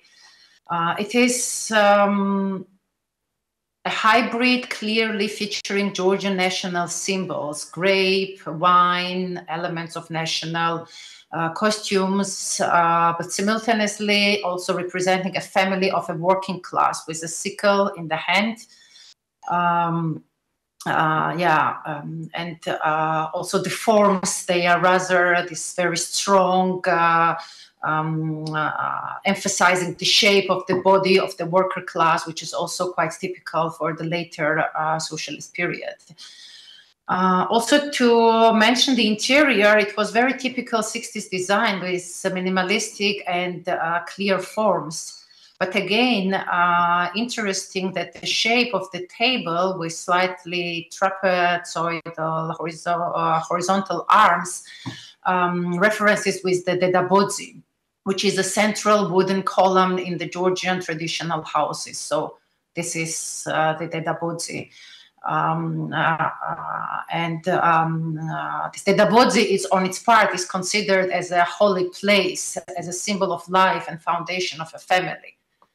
So also interesting uh, how they translate uh, the um, elements and symbols from the medieval architecture in the uh, modernist forms. The next uh, example I want to show uh, is the Tbilisi Sports Palace uh, from the same period, built um, starting in late 50s and finished in uh, 1961. The exterior of the building is exceptionally minimal. So the facade with the main motive of a strong uh, five-arched arcade with archivolts surrounding the building as a deep passage from its three sides. Uh, the lightness and refinement uh, are additionally created by continuous horizontal uh, glass line with three rows uh, on the top of the building, um, located above the arcade and ends with a cornice. Um, uh, uh, so this horizontal line of windows has not only decorative structure uh, or function, it is the source of natural light for the interior galleries surrounding the main hall on the upper level, so which are uh, behind these uh, three rows of uh, windows. Mm, uh, uh, last year, when Anna Bronovitskaya was giving her lecture in the frame of the this lecture series, she mentioned in her presentation that in Soviet times, if buildings constructed in republics exceeded certain scale, it was to be agreed with the center in Moscow. So in order to avoid this bureaucracy, authors of Sports Palace found the solution to put uh, the half of the building underground. And by entering, uh, so what you see now in the form, so this kind of walk type uh, of uh, shape, the half, it's basically so this part is all underground so on the ground level you see just uh, from up to from this part on Um, and by entering the building, it strikes uh, really with the volume which is not expected because of uh, exactly the reason which I mentioned. Uh, and one of the most significant characteristics of the building is its roof, a thin sloping precast concrete dome membrane, which is made without supporting constructions. It was the first of its kind in the Soviet Union. Um, so before using it in the sports palace, the construction was tested several times to guarantee its uh, stability, uh, of course. Uh, in the case of Sports Palace, authors, um, so the architects and engineers, so they created um, an assembled membrane over a 76 to 76 uh, meter hall. The roof uh, has slabs in 10 concentric circles that decrease in size going uh, upwards, and amount and size of slabs decrease in relation to this. Each cell uh, has a segment uh, for the placement of reinforced concrete uh, slabs so they basically go into each other. So here you can see very well how the structure, um, how um, uh, how was the technology of putting uh, the rows into each other. Um, so installation uh, continuing for 22 days. Um, so actually quite fast. Uh, and um, the engineer David Kajaya obtained a copyright for the construction and installation method uh, for this uh, membrane, which was very innovative uh, back then. And I'm pretty sure that the inspiration for uh, Tbilisi Sports Palace came from Nervi Sports Palace, but it also um, it, it, it, has to be mentioned that domed roofs and thin shell structures uh, hyperbolic paraboloids, uh, as well as exhibition pavilions and sports facilities of uh, similar structures are quite intensively featured in the magazine uh, Arkhitektura SSSR, uh, Architecture of USSR, uh, which was one of the main sources of information from architects of that time. Um, and um, what I also find uh, very interesting is this transition from the Stalin architecture to modernist uh, features. Uh, so these two buildings, which I show, they are built by the same architect, uh, Lado Alexei and both buildings were um, uh, finished, uh, their construction was finished uh, in the same year, 1961. Um, but the difference is the year of their commission. So the lower one, which is uh, former Sanatorium Imereti in Tskaltubo, uh, was commissioned in 1948, and the upper one, the Sports Palace, as I said, it was commissioned in 1956. Uh, so it was again, uh, one is before the Khrushchev resolution, so it's still starting period, and the other one is uh, right after the resolution. Uh, and I find it very interesting how the um, architects uh, manage this uh, quite uh, rapid or harsh transition from one uh, very or, or, between these two very different stylistically very different um, um uh, periods. And uh, um, requirements. Uh, but uh, and what I also find uh, these parallels, uh, which are like these domed roofs or the round uh, shapes and the arched galleries, I find it very interesting how they are translated in the modernist forms. Uh, so as I already uh, said, majority of the buildings built by individual projects are for public use and institutional buildings. Uh, so we encounter very few residential houses built with individual design. Uh, we already mentioned in the beginning that the great attention was uh, paid to improving housing conditions. Uh, a special decree on the development of housing construction in the USSR was adopted in 1957 and it aimed to reach a significant increase in uh, housing at the shortest possible time. So architects um, had to create a standard design uh, for the most affordable housing with low ceiling, without elevator and garbage chutes, but definitely with plumbing uh, and bathrooms. They had to create an apartment that um, apartment type uh, that would have been in accordance with industrial construction methods. Uh, from the planning perspective, this new economical apartment was supposed to be for a family and differ from a communal unit. Uh, uh, and five-story panel uh, buildings, mostly known as Khrushchevkas, uh, became the basis for mass construction in the USSR. Uh, but at the same time, the Soviet Union was equally successful in implementing double standards. Uh, houses built uh, according to individual projects were not um, that much exception for the members of the Central, Com uh, Com uh, Central Committee of the Communist Party and the Council of Ministers of the USSR, and for other people having special positions or achievements um, within the system. One of such houses uh, stands in the middle of Tbilisi at the entrance or at the edge of a park. Uh, its initiator was a composer, Alexei Machavariani, famous for his ballet Othello, which got popular not only union-wise but also internationally. Um, I'm afraid to make a mistake here, but he apparently got a very important acknowledgement also from Italy, golden medal from a Braidense National Library, if I remember it correctly. Uh, and there is a long uh, story behind the medal, but what matters is that he was a highly celebrated uh, elite uh, member with connections to party and decision makers who could give him a green light to building a non-ordinary house initiated by cooperative of private people. Um, where every family got uh, quite spacious and uh, generously planned uh, apartment on each floor. So um, there were just only four families living in this house, one on each floor, and the uh, Alexei himself he got two floors. It was also interesting because he, as an artist, uh, so uh, the um, justification was that one floor was for living and another was uh, his uh, workshop or studio. So this was quite also um, exceptional, or like nobody could afford having two floor apartments in Soviet um, reality, so to say.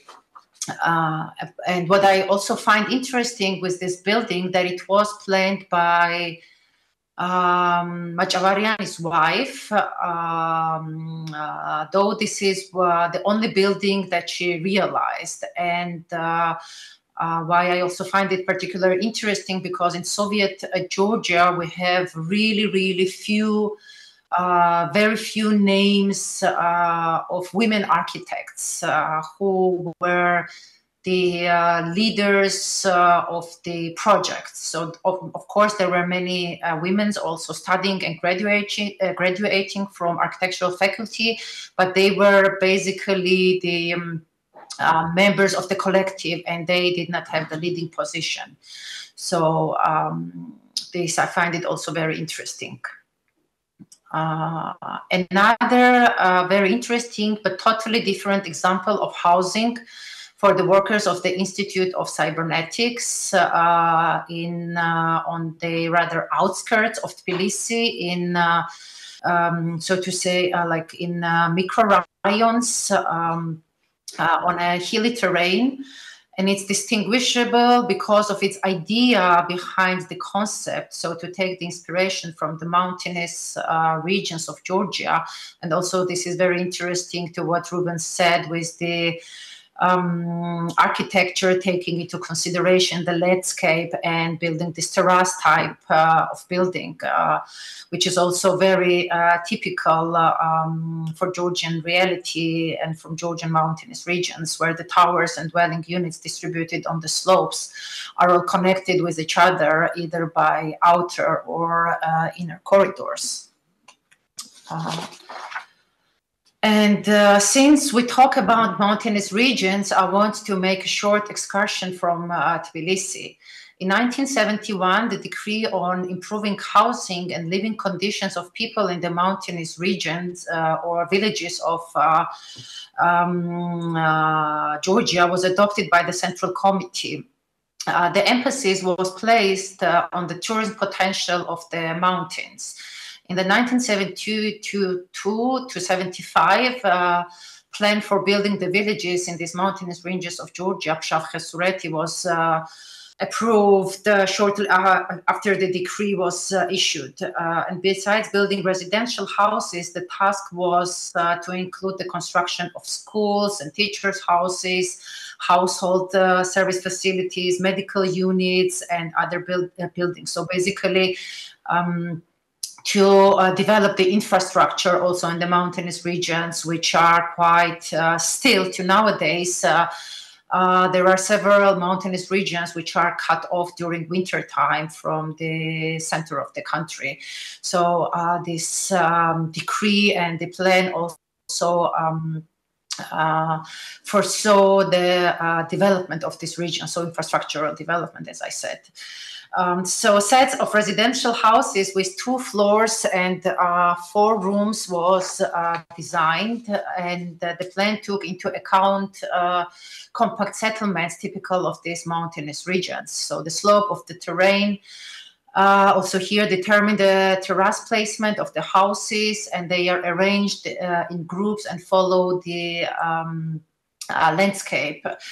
Uh, they face uh, south and overlook the road which enters the village um, and continue on the slope. Uh, so uh, here uh, in the lower image, you see so the summer kitchens and wash houses. Um, where um, so like the front was rather living area then behind there are summer kitchens and wash houses houses and also uh, cow sheds uh, located on the terraces behind the apartments uh, and the uh, uh, with flat roofs, which is also very typical uh, for these regions, and with the use of local shale stone. Um, they try to preserve the look of the village and help it blend with the um, environment with, where it's set in. Architects also uh, considered uh, planning quite spacious distribution of rooms, which was uh, also not very mm, typical for the vernacular architecture, where uh, the whole family members uh, uh, with cattle would live basically in one room, especially in the winter time. So, in order to guarantee also the warmth, the warmth efficiency. Uh, and what we see in this new proposal is that uh, there is a clear functional division between rooms. It's very spacious. There are many rooms uh, planned. Um, uh, and as far as I know, the settlement uh, still exists, but it would be really interesting for me to know how successful uh, in reality this project was and if such kind of comfortable housing really became practical for the inhabitants of these houses. Um, so, um, while talking about nationalization of modernism in Georgia, we can uh, not not mention Viktor Jorbenadze, Georgian architect whose work perhaps uh, best uh, embodies the late Soviet experiment in creating an architectural style that was uh, modernist and innovative and socialist and uh, fully Georgian in a way.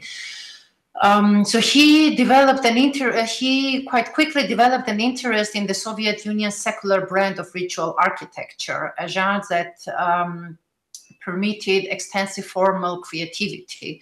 His projects, um, uh, or they, um, these projects, challenged architects to imbue life rituals with a sense of continuity with Georgian traditions. Um, for this Mukhatgverdi cemetery complex design uh, inspiration definitely came, or it's obvious that it came from Corbusier's Ronchamp Chapel. Uh, but Jorbenadze's works are uh, and his works are also characterized with plasticity, with which he definitely marked his style among Georgian architects. Uh, uh, so Mukhatgverdi provides uh, quite an early uh, glimpse of the idioms uh, Jorbenadze would later employ at his masterpiece, The Palace of Rituals, which I come uh, right after. Um, and especially in these cultural forms and postmodern technique of incorporating historical uh, elements. Um, as a form of citation. In one of the buildings, uh, he literally embedded historical uh, tombstones onto the um, facade of the building. So in 1980, um, uh, built a palace of rituals to replace the more utilitarian uh, wedding registration offices that had become the norm in the 1960s. Uh, his design uh, incorporated and uh, still incorporates elements of Georgian church architecture. So the frescoes, a bell tower, tower traditional roofing uh, are all uh, presented in uh, this building. The form of the building itself is laden with symbolism, speaking to the union of female and male. Uh, very interesting uh, architecture. And when state committee, by the presentation of the building, by the official presentation of the building, uh, um, when the state committee uh, present there, which was, uh, was quite surprised, and they objected the building, but the first secretary back then, Eduard Shevardnadze, personally defended George, Jorbenadze's use of ecclesiastical and traditional motifs as an acceptable um, interpretation of uh, Soviet design formula, um, national inform and socialist in uh, content. Uh, and uh, the building became also uh, quite celebrated, where also Margaret Thatcher was welcomed, and uh, um, lots of famous people would be welcomed, giving also like um, giving uh, festivities and uh, lots of um, official meetings taking place in this um, building. Uh, and uh, of course, uh, I cannot also skip and not talk about one of the probably the most um, uh, famous, uh, so I would say without exaggeration, uh, the most famous building from um, Georgia of the, so of the um, Soviet period. It's the former Ministry of Automobile Roads by Georgy Chakhava. Uh, the building uh, has been compared to various projects speculating uh, on its origin and inspiration, such as the Ideal City by Heidegger or Lisitsky's uh, horizontal skyscrapers. But most closely, Chakhava's uh, idea came come to metabolists that cities and buildings are not static elements but are ever changing. And Chakhava also envisioned his building to be growing, but it uh, never came true, unfortunately. Uh, and Chakhava himself was always stressing that his inspiration uh, came from the nature and from forest and uh, tree trunks. So he wanted the building to take as, le- as least possible uh, space uh, on the ground and develop basically uh, upwards and like tree trunks to go into the um, sky or into the air. Uh, an interesting detail that maybe also contributes to understanding the functioning of the Soviet system is that for the project built uh, in uh, republics, there was a limit set by central government. So without Moscow's permission, officially, it was only possible to realize a project with a budget that did not exceed uh, 3 million, uh, million rubles. Uh, it's no wonder that also for this project, the budget uh, for the whole building was much higher than 3 million. Um, so the solution um, they found was to distribute uh, the budget among uh, different departments and institutions involved in the project because the building was uh, uh it was not only the ministry of automobile roads but it was also several attached to the ministry institutions or the sub uh, departments. Uh, so they um, found the solution to distribute the budget among different departments and also all involved um, kind of trusts and uh, building companies. They some contributed with the material um, and so on. See, so and as I heard uh, from other projects, also this method was not uh, exceptional. So uh, the republics or the architectural institutions They always tried uh, to solve these problems uh, locally in order not to have this burden or pressure to um, agree every detail with the center in Moscow. Uh, so already in 1970s, the building received a lot of international response, of which Georgi Chakhava was very proud. He was most happy about the fact that in 1981, the building uh, not only was presented in the exhibition Transformation in Modern Architecture at MoMA in New York, but also appeared in the accompanying publication. However, uh, it is uh, the only building that uh, appears without mentioning the names of its authors. Uh, just a few years later, a letter and a copy of the publication reached uh, uh, and it turned out that official bodies in Moscow approached with inquiries about the building in Tbilisi from MoMA side did not provide any information, so they did not respond basically.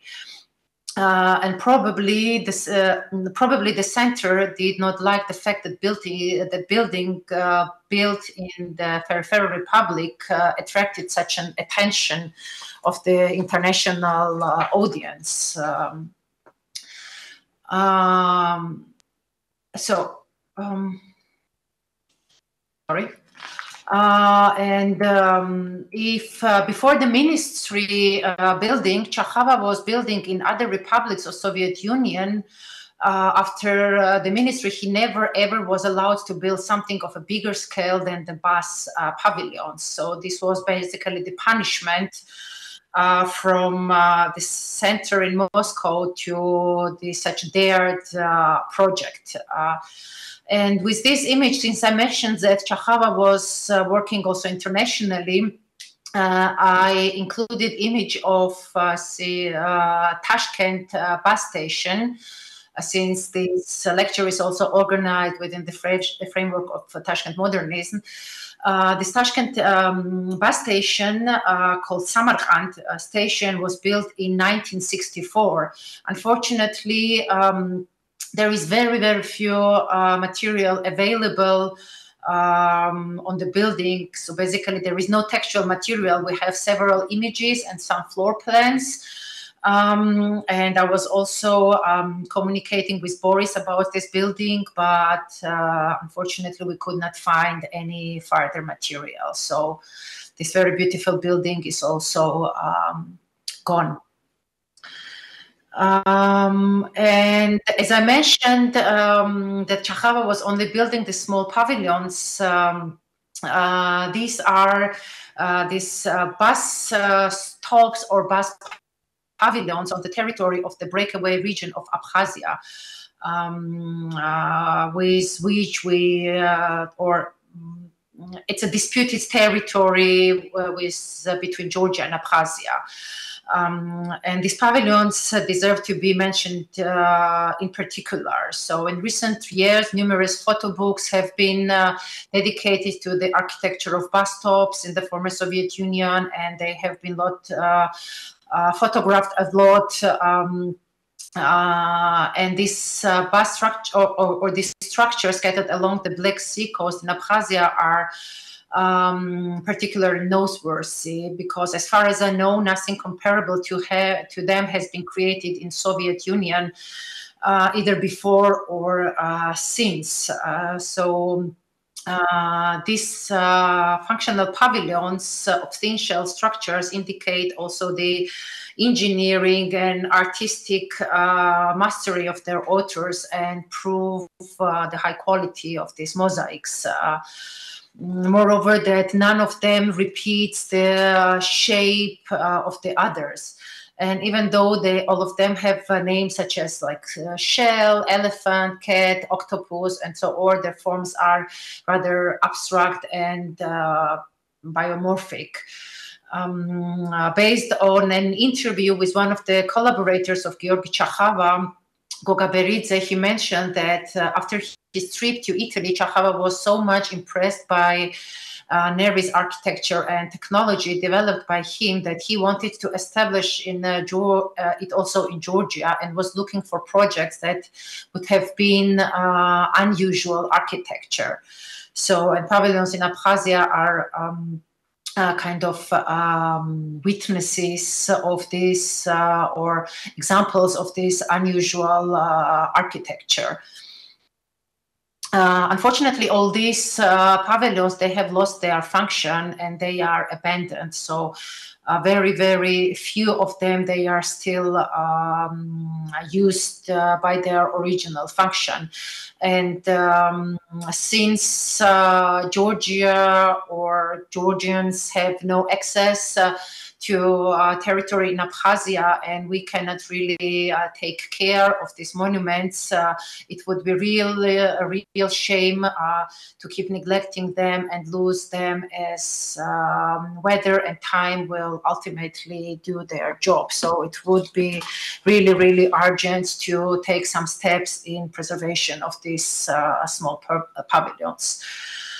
Um, so, and here I want to start also talking about the situation since the 90s. Um, uh, uh, so after the fall of the Soviet Union and reestablishment of Georgia's independence, many institutes uh, um, and uh, like uh, similarly to Ministry of Automobile uh, Roads, they uh, stopped to function. And this building is also very uh, exemplary to all the processes uh, which Georgian went through from 90s on. Um, so a building of this size could also no longer be sustained, and institution, institutions that were still functioning, they had to move out. And for years, the building stood empty and was abandoned for years. in 2000 2007, um, uh, the building was granted the status of an immovable monument of cultural heritage. And uh, until now, it is uh, one of the very few buildings from the late modernist period in Tbilisi that has been granted uh, the status. We have uh, literally only four buildings uh, from that period in Tbilisi that are granted the status. Uh, and in the same year, in 2007, uh, one of the major banks, the Bank of Georgia, uh, privatized the building of the former ministry. And the construction project was uh, um, developed uh, and um, um, uh, they, um, they developed uh, on consultations with Zurab Jalagania, who was the co-architect uh, of the building, and luckily uh, he's still alive. So for consultations, and he was very much, uh, very intensively involved in the whole process. And we have to say that certainly the preservation of a building of this scale would uh, have uh, would not have been possible uh, without the commitment of large institutions. And the bank was probably the best case in terms of uh, financial possibilities. Um, and um, uh, also um, just very very short overview of the problematics of the preservation of the um, uh, architecture of this uh, period before I come to the final example I will show the Tbilisi Chess Palace and uh, Alpine Club. So the problem we encounter in preservation of modernist architecture is um, a very complex one, uh, whether on international or on local level. So the greatest threat to the architecture of um, basically any epoch, but uh, any totalitarian epoch, uh, of course, it's also its perception of their ideology. Uh, and the perception of the previous period by the next period is often very reactive and to a certain extent also very negative and it needs uh, a certain time to take a distance and uh, have a rather uh, sober look at it and most of the countries that uh, formed the socialist uh, bloc and the Soviet Union tried to quickly forget the ideology of the past uh, after regaining uh, independence. Uh, and the easiest and fastest uh, way was to erase it and their elimination from their visual memory. So, and consequent, consequently, also many buildings or structures were sacrificed to this very first emotional impulse um, which was called independence or liberation from the pressure of the past. Um, so um, the building I'm showing here, it's um, former uh, um, it's so-called Andropov's Ears, uh, the party tribune in front of which official parades would take place. And um, uh, starting from uh, late 90s, it took almost 50 years to demolish uh, it. And another five or more years, the plot was vacant until the uh, restaurant which uh, was built, where they would um, uh, basically sentimentalize the very past they have destroyed. Uh, so, uh, after the construction of this restaurant, the interior was um, decorated with uh, some. Uh, uh, historical or archival images depicting the very tribune that they have um, demolished. Um, so I find it also very interesting this um, so-called return of the repressed. Uh, so um, one cannot uh, definitely uh, one cannot erase the past that easily as we want uh, it. Uh, also, uh, the build um, we have um, one of the problems for the buildings of that period, be it administrative or cultural, were um, that they were designed for masses. Uh, and the main problem encountered by the present day society is their maintenance or preservation is their large volume uh, after the destruction uh, or um, the fall of the socialist regime, then transition to a market economy for the states having all these buildings uh, on their balance, it became impossible. So one of the central and primary uh, primary problem has become their provision with uh, utility services. It was impossible to supply such uh, volume. Um, of electricity, gas, or water at the expense of the state. Uh, in many cases, the solution was found in the, um, uh, in the sale to private owners, uh, which applies also to this building. I'm showing this is uh, uh, Olympics living, uh, swimming complex, so-called beautiful example also of the 70s architecture. Um, and I intentionally put these two images um, on top of each other to see the original opened uh, in the beginning of 70s and then uh, the development it uh, uh, also faced um, like the urban development how it uh, surrounded the building and kind of created a gate of residential houses this arch standing which absolutely disturbs its um, uh, perception uh, of the uh, of this building. Um, um, so, and um, as I said, uh, the um, solution was uh, in privatization of these uh, buildings, which also applies to this building. The owner is a private fund, which is also associated with uh, one of the richest, uh, or not one of the, but the richest man in Georgia, Bidzina Ivanishvili, which also stands behind the ruling uh, uh party. So, and uh, for years now, this building has been uh, vacant and it has been used as the parking for auto repair services. And then in 2016, there was a big flood in Georgia, which also affected the building. And you see how the grass is growing uh, from the swimming pools and um, uh, it's still uh, there is still no real plan of uh, returning the building uh, to its original function or any other plans of um, doing anything out of this place. And it's a real shame that the building is this beautiful building is uh, in such a condition uh, so uh, I'm coming to the last part of my presentation. Uh, the last uh, uh, example, as I promised, it's Tbilisi Chess Palace and Alpine Club building to study and preservation of which I have dedicated almost five or seven years now. And it's interesting because it illustrates almost every challenge I have talked about now and serves as a mirror to political, economic, social changes uh, in the country. Mm, the building often referred to as the Chess Palace was dedicated to two particular women. Um, One is five-time uh, world chess champion, uh, Grandmaster Nona Gaprindashvili, and uh, the other one is a mountaineer, Alexandra Japaridze.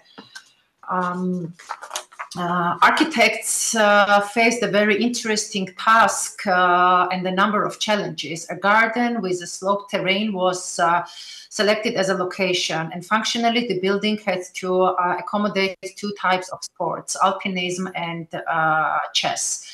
The building stands um, out not only for its architectural mastery, but also for its urban uh, planning. It is not characterized by large dimensions and does not uh, dominate the rest of the public space. Uh, the distribution of the floors follows the landscape also here. Uh, on the eastern uh, side, the building um, has three floors and um, on the and, and from the west it has two floors. Uh, glass windows and doors uh, in aluminium frames divide the facade of the building covered with local uh, limestone of beige uh, um, color. Uh, the facade is simple, uh, it's very simple and restrained, and it's a play of horizontal and vertical lines. Uh, the division of the function between two owners is solved also very logically and is marked clearly. The Alpine Club, um, uh, so this is basically the uh, floor of the Alpine Club, uh, is situated on the basement floor uh, of the building on the eastern side, as I said, and has an individual uh, entrance. Uh, uh, besides it, uh, alpinism or the Mountaineers Club, it um, there were administrative premises and sanitary units. There was also a small hall serving as an auditorium, museum, and a canteen with an open terrace at the disposal of the mountaineers. And on the uh, first and second floors, the building is uh, uh, encircled with balconies which provided the freedom of movement around the building. So one could go around uh, the like uh, 360 degrees. One could uh, go around the buildings, and there were also staircases connecting the two to, uh, two floor uh, balconies with each other. Uh, the core of the building uh, is its main uh, hall uh, for 520 visitors. Its shape is similar to an oval amphitheater and has a stage uh, elevated um, or at an elevation of five floors or five steps uh, a very interesting and innovative decision was uh, made regarding also an additional natural light system and also the natural uh, air ventilation uh, ventilation system. Um, uh, and uh, additionally also to increase the amount of audience in the hall. On the level of the third floor, um, uh, the hall is bordered by side galleries which connect uh, to it through six mobile panels. So you see here um, on the one side three, and on the other there were like uh, mirrored also three, and you see here uh, they are in an uplifted condition so these uh, panels could be uh, lifted uh, up and uh, they allowed more people to view chess tournament tournaments and as i said also provided uh, natural light in the hall located at the center of the building which had only the secondary um, uh, light uh, and very special mentioning uh, deserves the selection of the material for these panels and the technique of execution, uh, so-called marquetry, a type of combining uh, wood pieces, which has never been very popular in uh, Georgia. And this is a very uh, well sought parallel to a chessboard that, where the surface of which is also assembled with wood pieces and it's um, literally very same technique uh, which is used on the chessboard and later on the panels of this um, uh, of the side galleries. Uh, uh the, luckily, uh, the panels are preserved in their original shape. Uh, the mobile system does not function as it has not been used for more than 30 years now. Uh, and there are slight uh, damages visible on the surface, but uh, they are not really profound.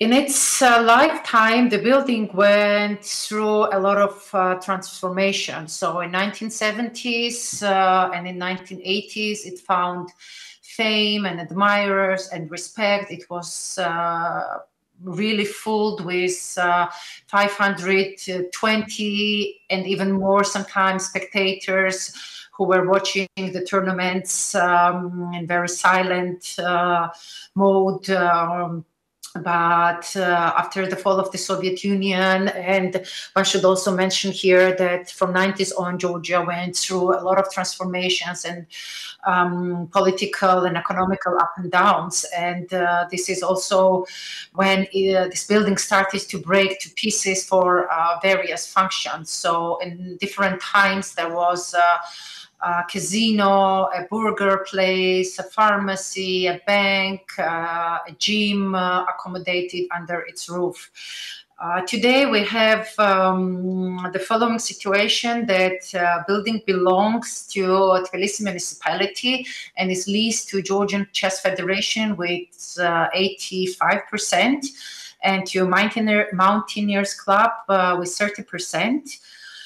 Uh, and in order to maintain um, uh, itself and the building, the Chess Federation needs to rent out uh, parts of the building. Uh, so the rent, uh, their spaces currently it's rented to a billiard club on the first and second floors. Uh, additionally, there is a cafe uh, International Chess Academy, which is separate from the Chess uh, Federation, and uh, Office uh, of the President of the European Chess uh, Union.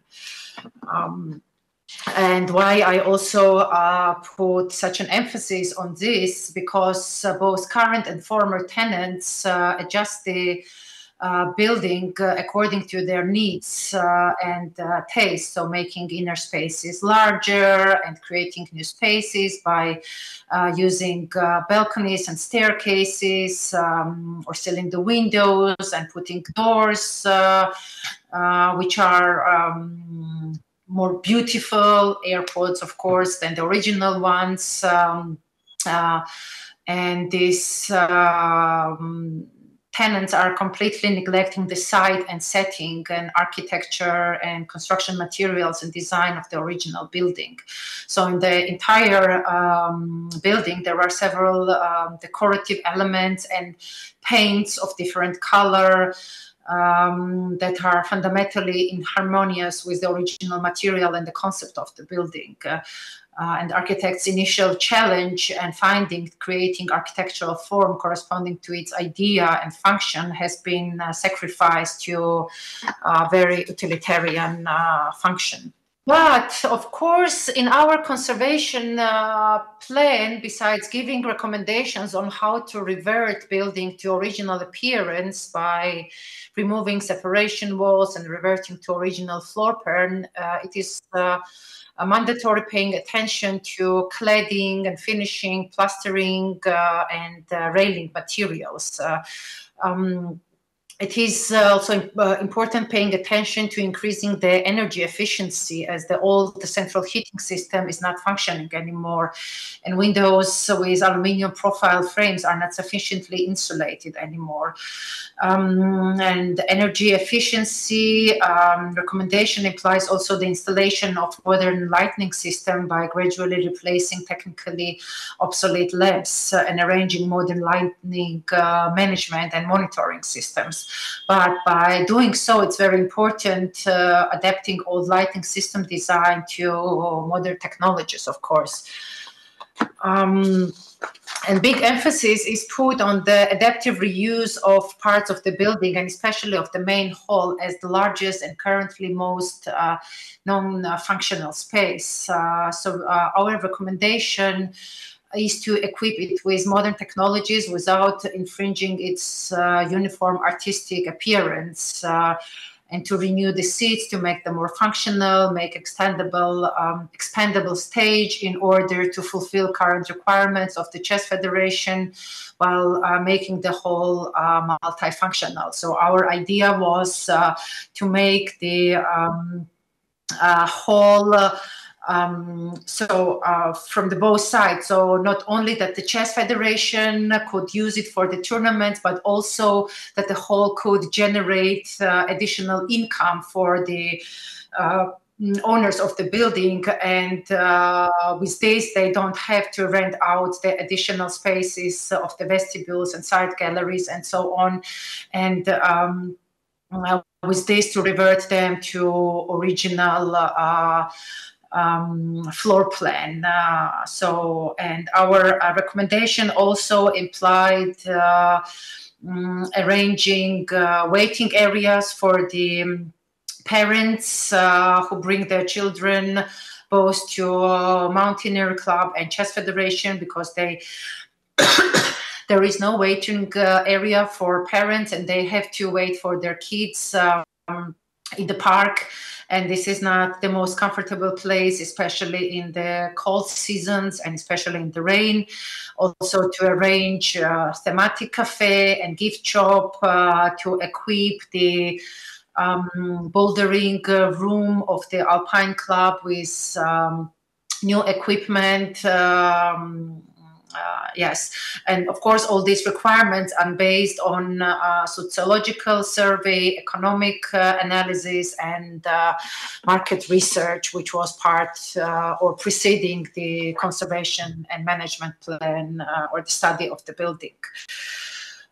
so the document we have prepared contains um, building's historical overview, its context and significance, uh, comprehensive description of the original design with archival material. Um, uh, then this part is followed by current condition assessment with history of changes over the years and identification of damages and their factors.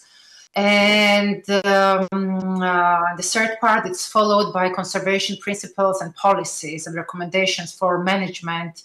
And finally, all the studies that have been done in order to prepare the conservation and management plan, which is the structural survey of the building, inspection of mechanical systems, study of the building materials, uh, recommendations on improving, improving occupational uh, safety, uh, sociological survey and recommendations for increasing the energy efficiency of the building, as I mentioned. Uh, so this uh, detailed management and conservation plan is accessible on the project website, which is Chess Palace and Alpine Club written together, as well as on the um, website of the Keeping It Modern uh, site uh, um, and the document was submitted to the building's owner, Tbilisi municipality, in 2020. But until now, there has been no move to implement our recommendations. Uh, of course, uh, we have to take in consideration that starting from 2020, the pandemic, of course, um, uh, uh prevented it and uh, also um, as in Armenia's or um, uh, Writer's House.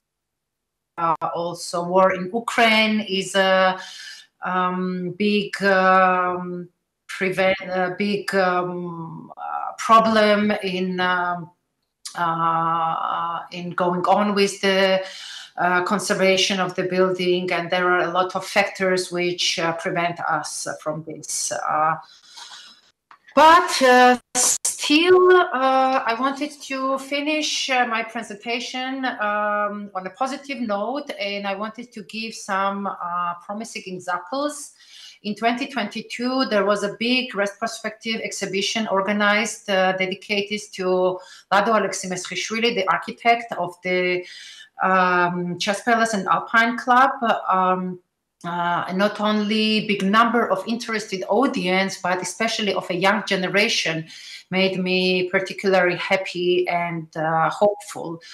Um, the exhibition showed original drawings, sketches uh, found in state and private uh, archives and in a family, uh, complemented with archival photo material, ephemerals, and videos. There were also models uh, of quite um, many buildings. Um, made uh, so people could visualize buildings in their original form as currently uh, some of them are demolished or modified to the extent that original is not recognizable anymore.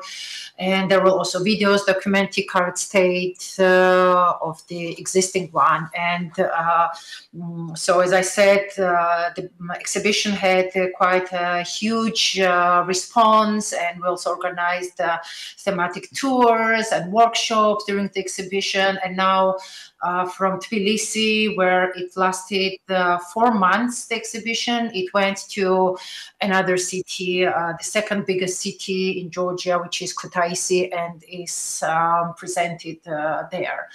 Uh, and why I'm mentioning it also because uh, these kind of exhibitions are very important for uh, raising awareness and for talking about this period architecture and also to um, uh, make understandable the values uh, uh of this architecture and why we should be fighting for uh, their preservation. And uh, as a final note, um, I am presenting a publication um, initiated by Goethe Institute in Georgia uh, and as a part of a moving exhibition, City of Tomorrow, uh, which is curated by Ruben uh, in uh, collaboration with Georg Schöllhammer. Uh, and it was also supposed to take place. So this is kind of this traveling exhibition where um, which has a core exhibition, and in every country um, they travel, there is a local extension to this exhibition. And it was also supposed to happen in Georgia, but unfortunately, again, pandemic uh, prevented us from uh, doing the exhibition. Uh, and we decided to um, have a, a publication format. Uh, and as a result, this um, uh, publication uh, titled Building Socialist Georgia was published, which for the first time unfold to now hidden chapters of the history of architecture and urbanism uh, in the country from 1920s to 1980s. Um, and this book is not uh, really focusing on the already, uh, already canonized work of star architects, but instead gives thematic insight and puts works uh, not only in architectural but also in political and uh, geographical uh, contexts. unfortunately, the book does not have an inter international distribution, but a copy is kept at the Biblioteca de MAXXI in Rome. So if there is uh, interest, um, uh, yeah, so this is accessible, and I was very happy that uh, MAXXI was um, agreeing and willing to have a copy of it in their library. So um, yes, this is it. Uh, I hope uh, I'm in time, uh, and uh, it was um, yeah. Thank you very much for your patience and attention, and I'm also happy to answer your questions. Thank you. Thank you very much, uh, Adini. Um, a very uh, interesting uh, presentation. And uh, now the field of question. Um, maybe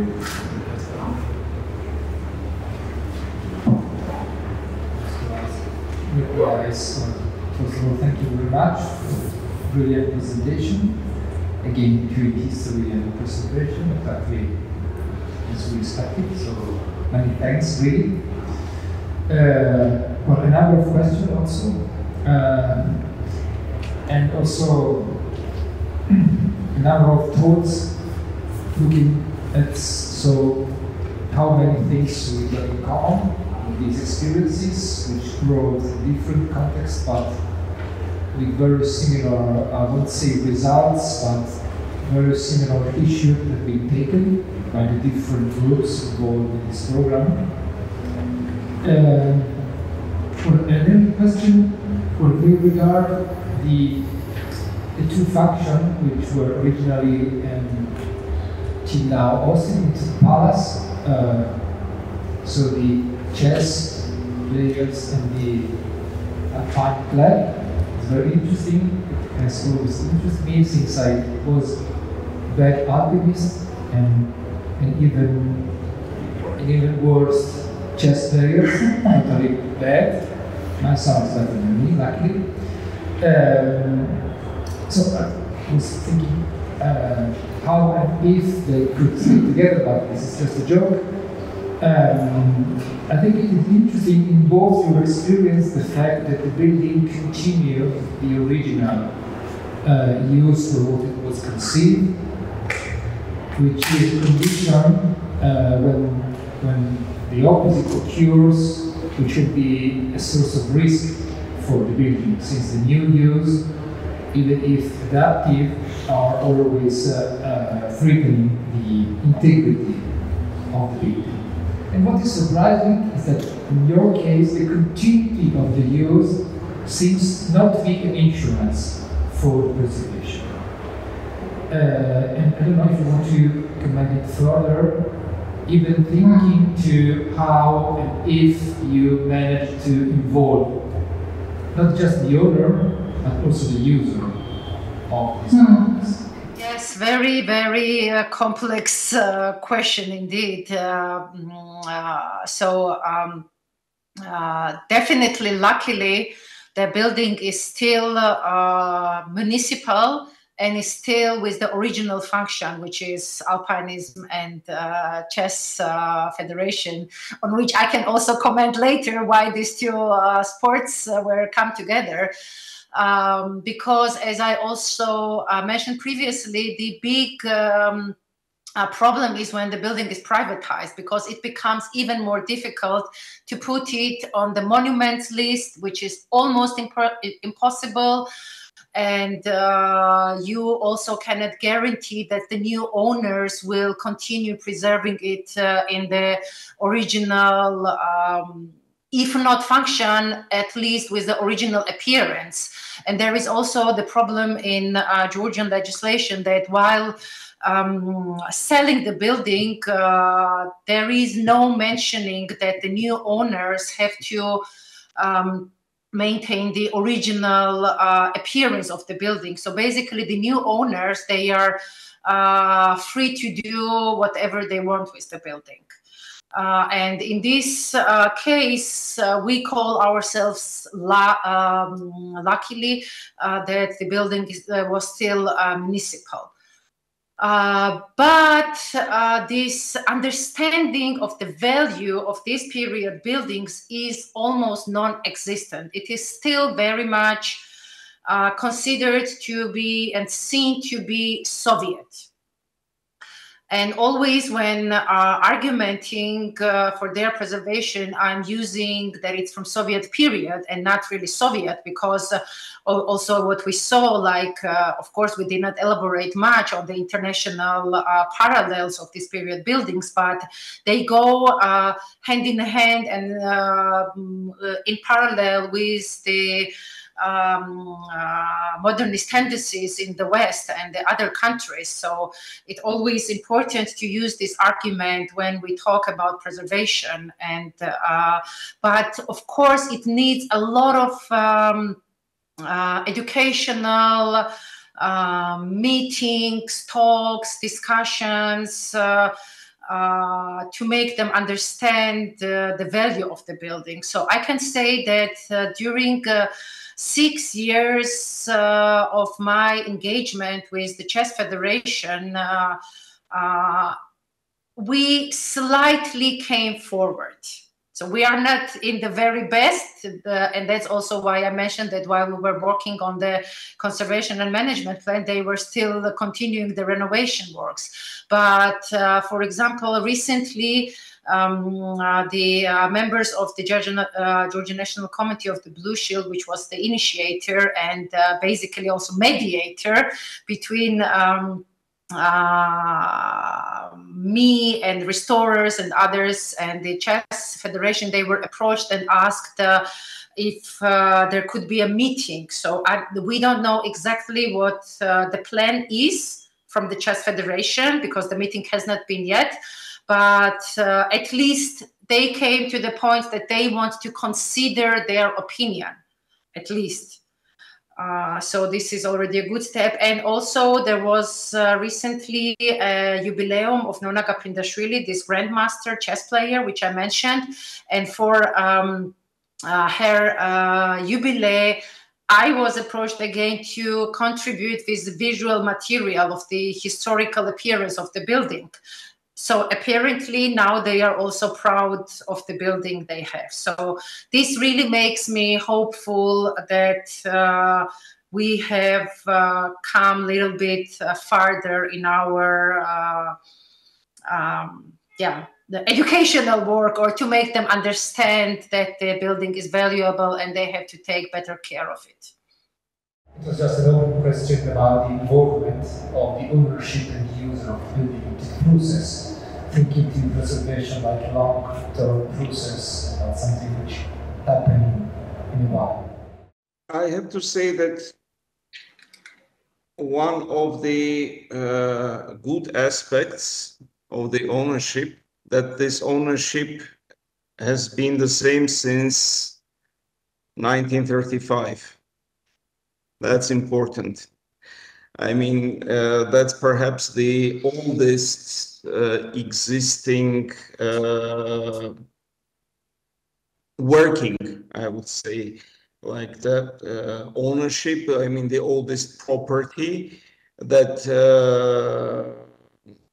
since the very beginning uh, of the establishment of the Union of Writers, the resort was the in ownership of the Union.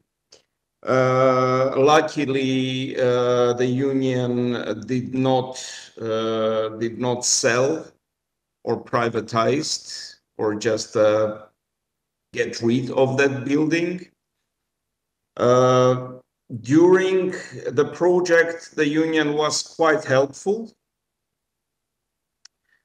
Uh, but at this stage, I already mentioned, I mean, they uh, are interested in keeping the building, but they are interested in the uh, uh, actively exploiting the building. That's the issue. Uh, so on one hand, there is there is also one thing that uh, I did not mention that uh, after we completed the project, and this is coincided also with the revolution that took place in 2018, uh, and uh, long-lasting uh, civic movements uh, that were oriented to uh, fighting for like the preservation of like the architectural heritage so in 2018, after the revolution, uh, the resort was listed, finally listed as a historical monument.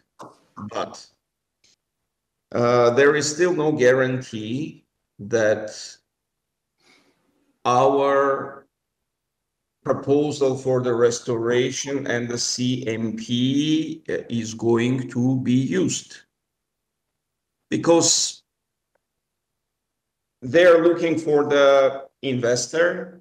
The Union of Writers is looking for the investor. And unfortunately, we could not find, there was one investor, but at a certain point, I mean, because of the war, because of the other circumstances, uh, that investor refused to invest in that initiative, though she was like very much interested. Uh, now they found one. I don't know how it will go on. Uh, for now, they say that uh, they are going to follow our recommendations. They are going to follow the proposal, but I'm not uh, really sure about it.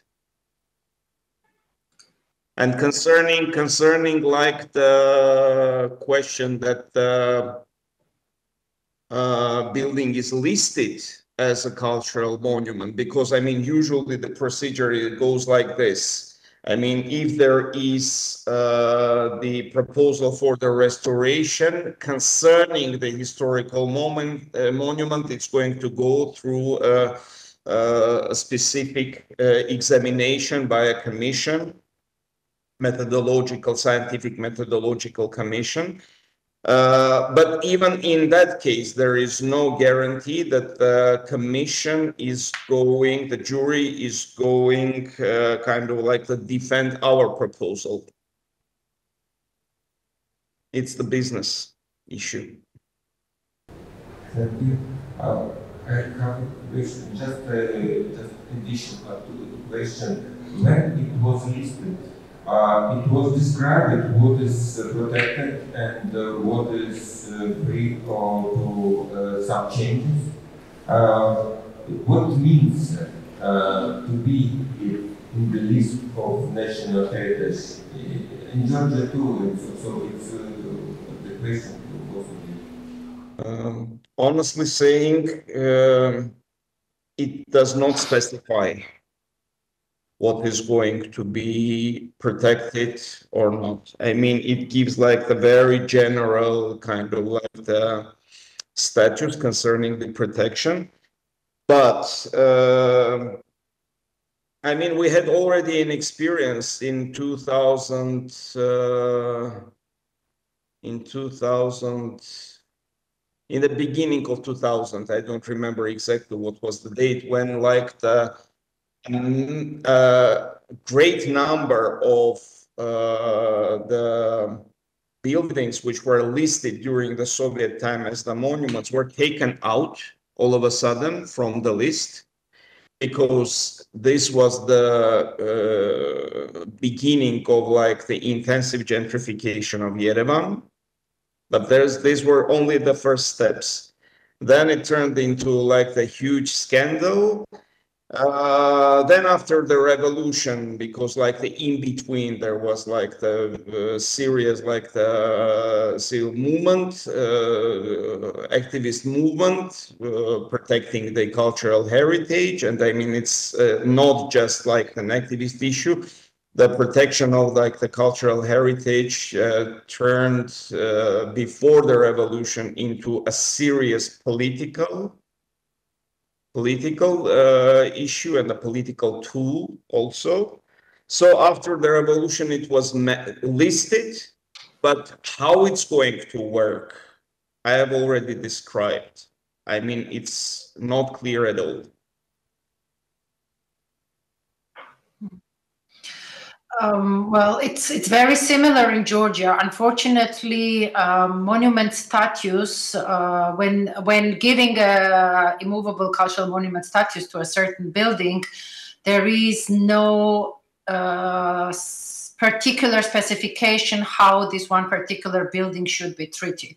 So it's rather a general. Uh, um, regulations, which, as I also said, it's mainly about appearance of the building and absolutely not taking into consideration uh, interior design, furniture design, or any other design elements. And uh, also this um, uh, exterior appearance, also uh, there is no detailed description what is to be uh, uh, paid attention to and be taken into consideration. So, um, and monument status, I mean, it's just, uh,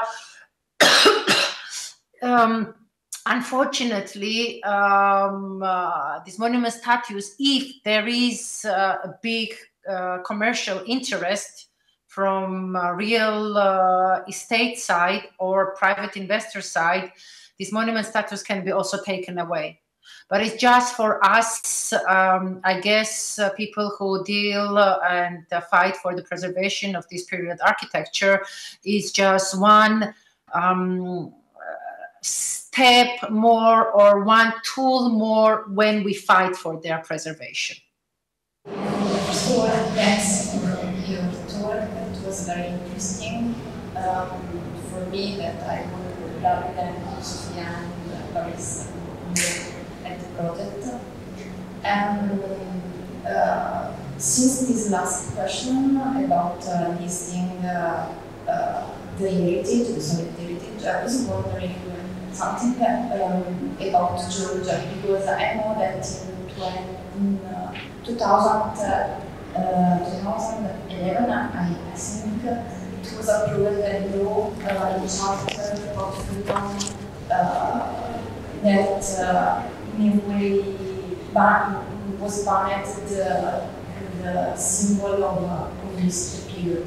So I was wondering uh, what's happened uh, before this uh, this uh, approval and if in the legislation uh, uh, there was some uh, initiative uh, uh, preventing and uh, uh, preserving uh, this heritage. Mhm. Well, you are right. It was around this period, I think 2011, uh, when uh, this um, law was issued on banning the Soviet symbols from the public uh, space. But in Georgia, it was mainly um, concerning hammer and sickle and uh, the monuments of the Soviet leaders, so like Lenin, Stalin, uh, and so on. Um, but even in this, uh, they were quite uh, non um, uh, consecutively uh, following because not everywhere the hammers and sickles and uh, statues were uh, removed. Of course, from the bigger cities and from the main squares, uh, like we have no more um, Stalin or Lenin or Marx and Engels standing in the in Tbilisi. But for example, Stalin is still standing, uh, Stalin statue, not Stalin, luckily, uh, Stalin statue is still uh, standing in his birth town, Gori. And not only, like in some smaller cities. And uh, the same goes uh, for hammer and sickle. For example, there is uh, one particular bridge in Tbilisi, uh, which uh, on this uh, balustrades, uh, I mean, it's a huge precast uh, iron balustrades and it has hammer and sickle in it. So I guess uh, removing um, the railings, it would have been so expensive that it was not worth it. So they left it. Um, yeah, so also in these terms, they are quite uh, um, twofold or um, not very consequently uh, following uh, their own um charters and the laws uh, uh, issued. And luckily, these did not. Um, does not concern, uh, for example, Soviet period mosaics, because uh, since we are talking about this charter, it was crucial in Ukraine and some other republics when they introduced this law to destroy uh, Soviet period mosaics, which were uh, mm, also featuring uh, the Soviet symbols, uh, which luckily uh, was not the case in Georgia because, on the one hand, we did not have that many hammer and sickles in the mosaics, uh, and um, nobody really also cared, I guess, that period about the mosaic. So, as I said, it was mainly on the big public buildings and bigger, uh, more prominent public squares and streets. Maybe, maybe uh, I have uh, another question because uh, uh, concerning concerning uh, concerning uh, technology. I mean, we know that uh, Soviet architecture uh, some specific technology which uh, uh, don't happen, uh, didn't happen in, other countries, uh, like uh, raising terraces uh, or uh, use bars. And uh, in um, what is interesting uh, is appearance of this uh, type of building. And it seems to me that uh, uh, use in Yerevan and uh, um, bars, these were first uh, building of this uh, type in the Soviet Union. Maybe one of those, or the first and uh, how the idea and uh, um, and uh, the nomenclature of this um, concept were, were selected. because in other examples it just was following to the first uh, buildings uh, appeared uh, in other republics. Um, what could you say about it? That's a very interesting question, Boris. Uh, mm, that is true. I mean, certain typologies uh, were realized, like the youth palace in Yerevan or the wedding palace in Georgia. For instance, like we did not at the wedding palace, but I mean, I showed to you during the presentation that somehow like the wedding big uh, kind of like the whole uh, ceremonial hall was integrated into uh, into the youth palace. And over there the architects actually again uh, kind of like they started to uh, play uh, with the uh, with the with the history like the or like the integrating like the, the interior of church into like the completely modernist building. Uh, so it's it's a it's a it's a actually the uh, uh issue which uh, deals with uh, ambiguities which were very specific to the late Soviet and uh, period in the uh, collective thinking and the cultural understandings of the uh, collective understandings. Uh, but there is uh, an important issue related also to the political circumstances. For instance, one of the important typologies that did not uh, appear in uh, Yerevan, it was like the Lenin Museum, you know, you remember, like the, in the late period time, I mean the 70s and especially in 80s, in many capitals, the Lenin museums turned into like the enormous temples, uh, which in their scales, like they're really representing like the, the, the, the the, uh, the late uh, Brezhnev period decline.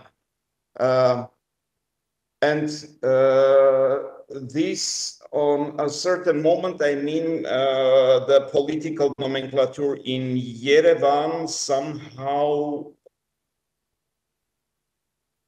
somehow uh, prevented the appearance of the museum. Besides the museum, there was also another case concerning the Russian theater. Till today, the architects uh, of that generation, they say like the like the society was stupid. I mean, the, the, they started like the, to talk against it. Who cares if it would have been like the Russian theater or if it would be a Lenin uh, museum. It was money that coming from Moscow. We would have used it, we would build it, and now we would use it as uh, for a different function. But we should consider that the situation in uh, Armenia and Georgia in the late 70s and 80s was quite different from, for instance, different republic. E each republic had kind of like the distinct like the histories in the specific period. But 1975, 1976, it's an important period when uh, in Soviet Union and in national republics, there was the last wave of the uh, state political line, uh, which was connected with the Russification. And in Tbilisi, uh, in 1976, if I'm not wrong, uh, there were like the uh, wave of like the uh, demonstrations against this Russification when the Russian should have been adopted as a state language. So there was a strong resistance in Tbilisi. In Yerevan, the demonstrations did not happen, but there was like a, a very strong resistance, and actually uh, the local political nomenclature uh, actually understood it and warned Moscow that it would be better not to touch that issue. So this was creating a background, and on this background, uh, certain typologies they did not they weren't realized. As a, as a continuation, maybe I should also add that there was also in uh, Tbilisi a Lenin museum planned, but luckily it never got realized. So it was already end of 80s when they were working on the plans and there was a competition and there were several uh, um, uh, entries to this competition and there was also um, if i'm not mistaken a winning project but it never came to realization for which i'm also very very happy because it would have been um, this very typical from the typological point of view this huge cube already brutalist massive uh, building on the in the center of the city on the edge of the old part. So it would have dominated and uh, basically swallowed the uh, um, adjusting uh, small streets of it. So it never came to realization. And as for the wedding palaces um, Actually, Tbilisi's one was quite a late one, as it was already mid 80s. Uh, uh, but as far as I know, this was quite a common phenomena in Soviet Union, exactly because of uh, replacing the church and the religious uh, topic in the Soviet Union. So these new palaces of rituals or the wedding uh, palaces in uh, different republics, they were called the either name. So um, uh, they, um, I mean, I know, of course, Tbilisi. I have been uh, in the one in Almaty, which is also very much having uh, these uh, bearing symbols from the um, typical church architecture or uh, like the frescoes and the arrangement. Uh, and this was very conscious um, decision, I guess, to um, creating this bridge. So not fully to uh, make this drastic cut with the religion and the church, but to implement these small symbols to um, uh, have this smooth continuation. It's very, very. Uh, it is, yeah. Thank you very much. I'm, I'm, I'm sorry. Organizers uh, said me that we have to finish because of uh, criminal conditions. It uh, was a great pleasure to see you monitors, and uh, I hope you meet um, for another occasion many times uh, in the future. Uh, thank you, thank you for both of us, uh, from, from all, from all, from all audience, uh, which numerous here in, in the Finland. Oh, thank you. Thank you. Thank you. And good luck and enjoy Triennale. Good luck and congrats. Yeah. Thank you so much from myself. Let's keep in touch soon for the next seminars. Thank you. See you. Thank you. Thank you.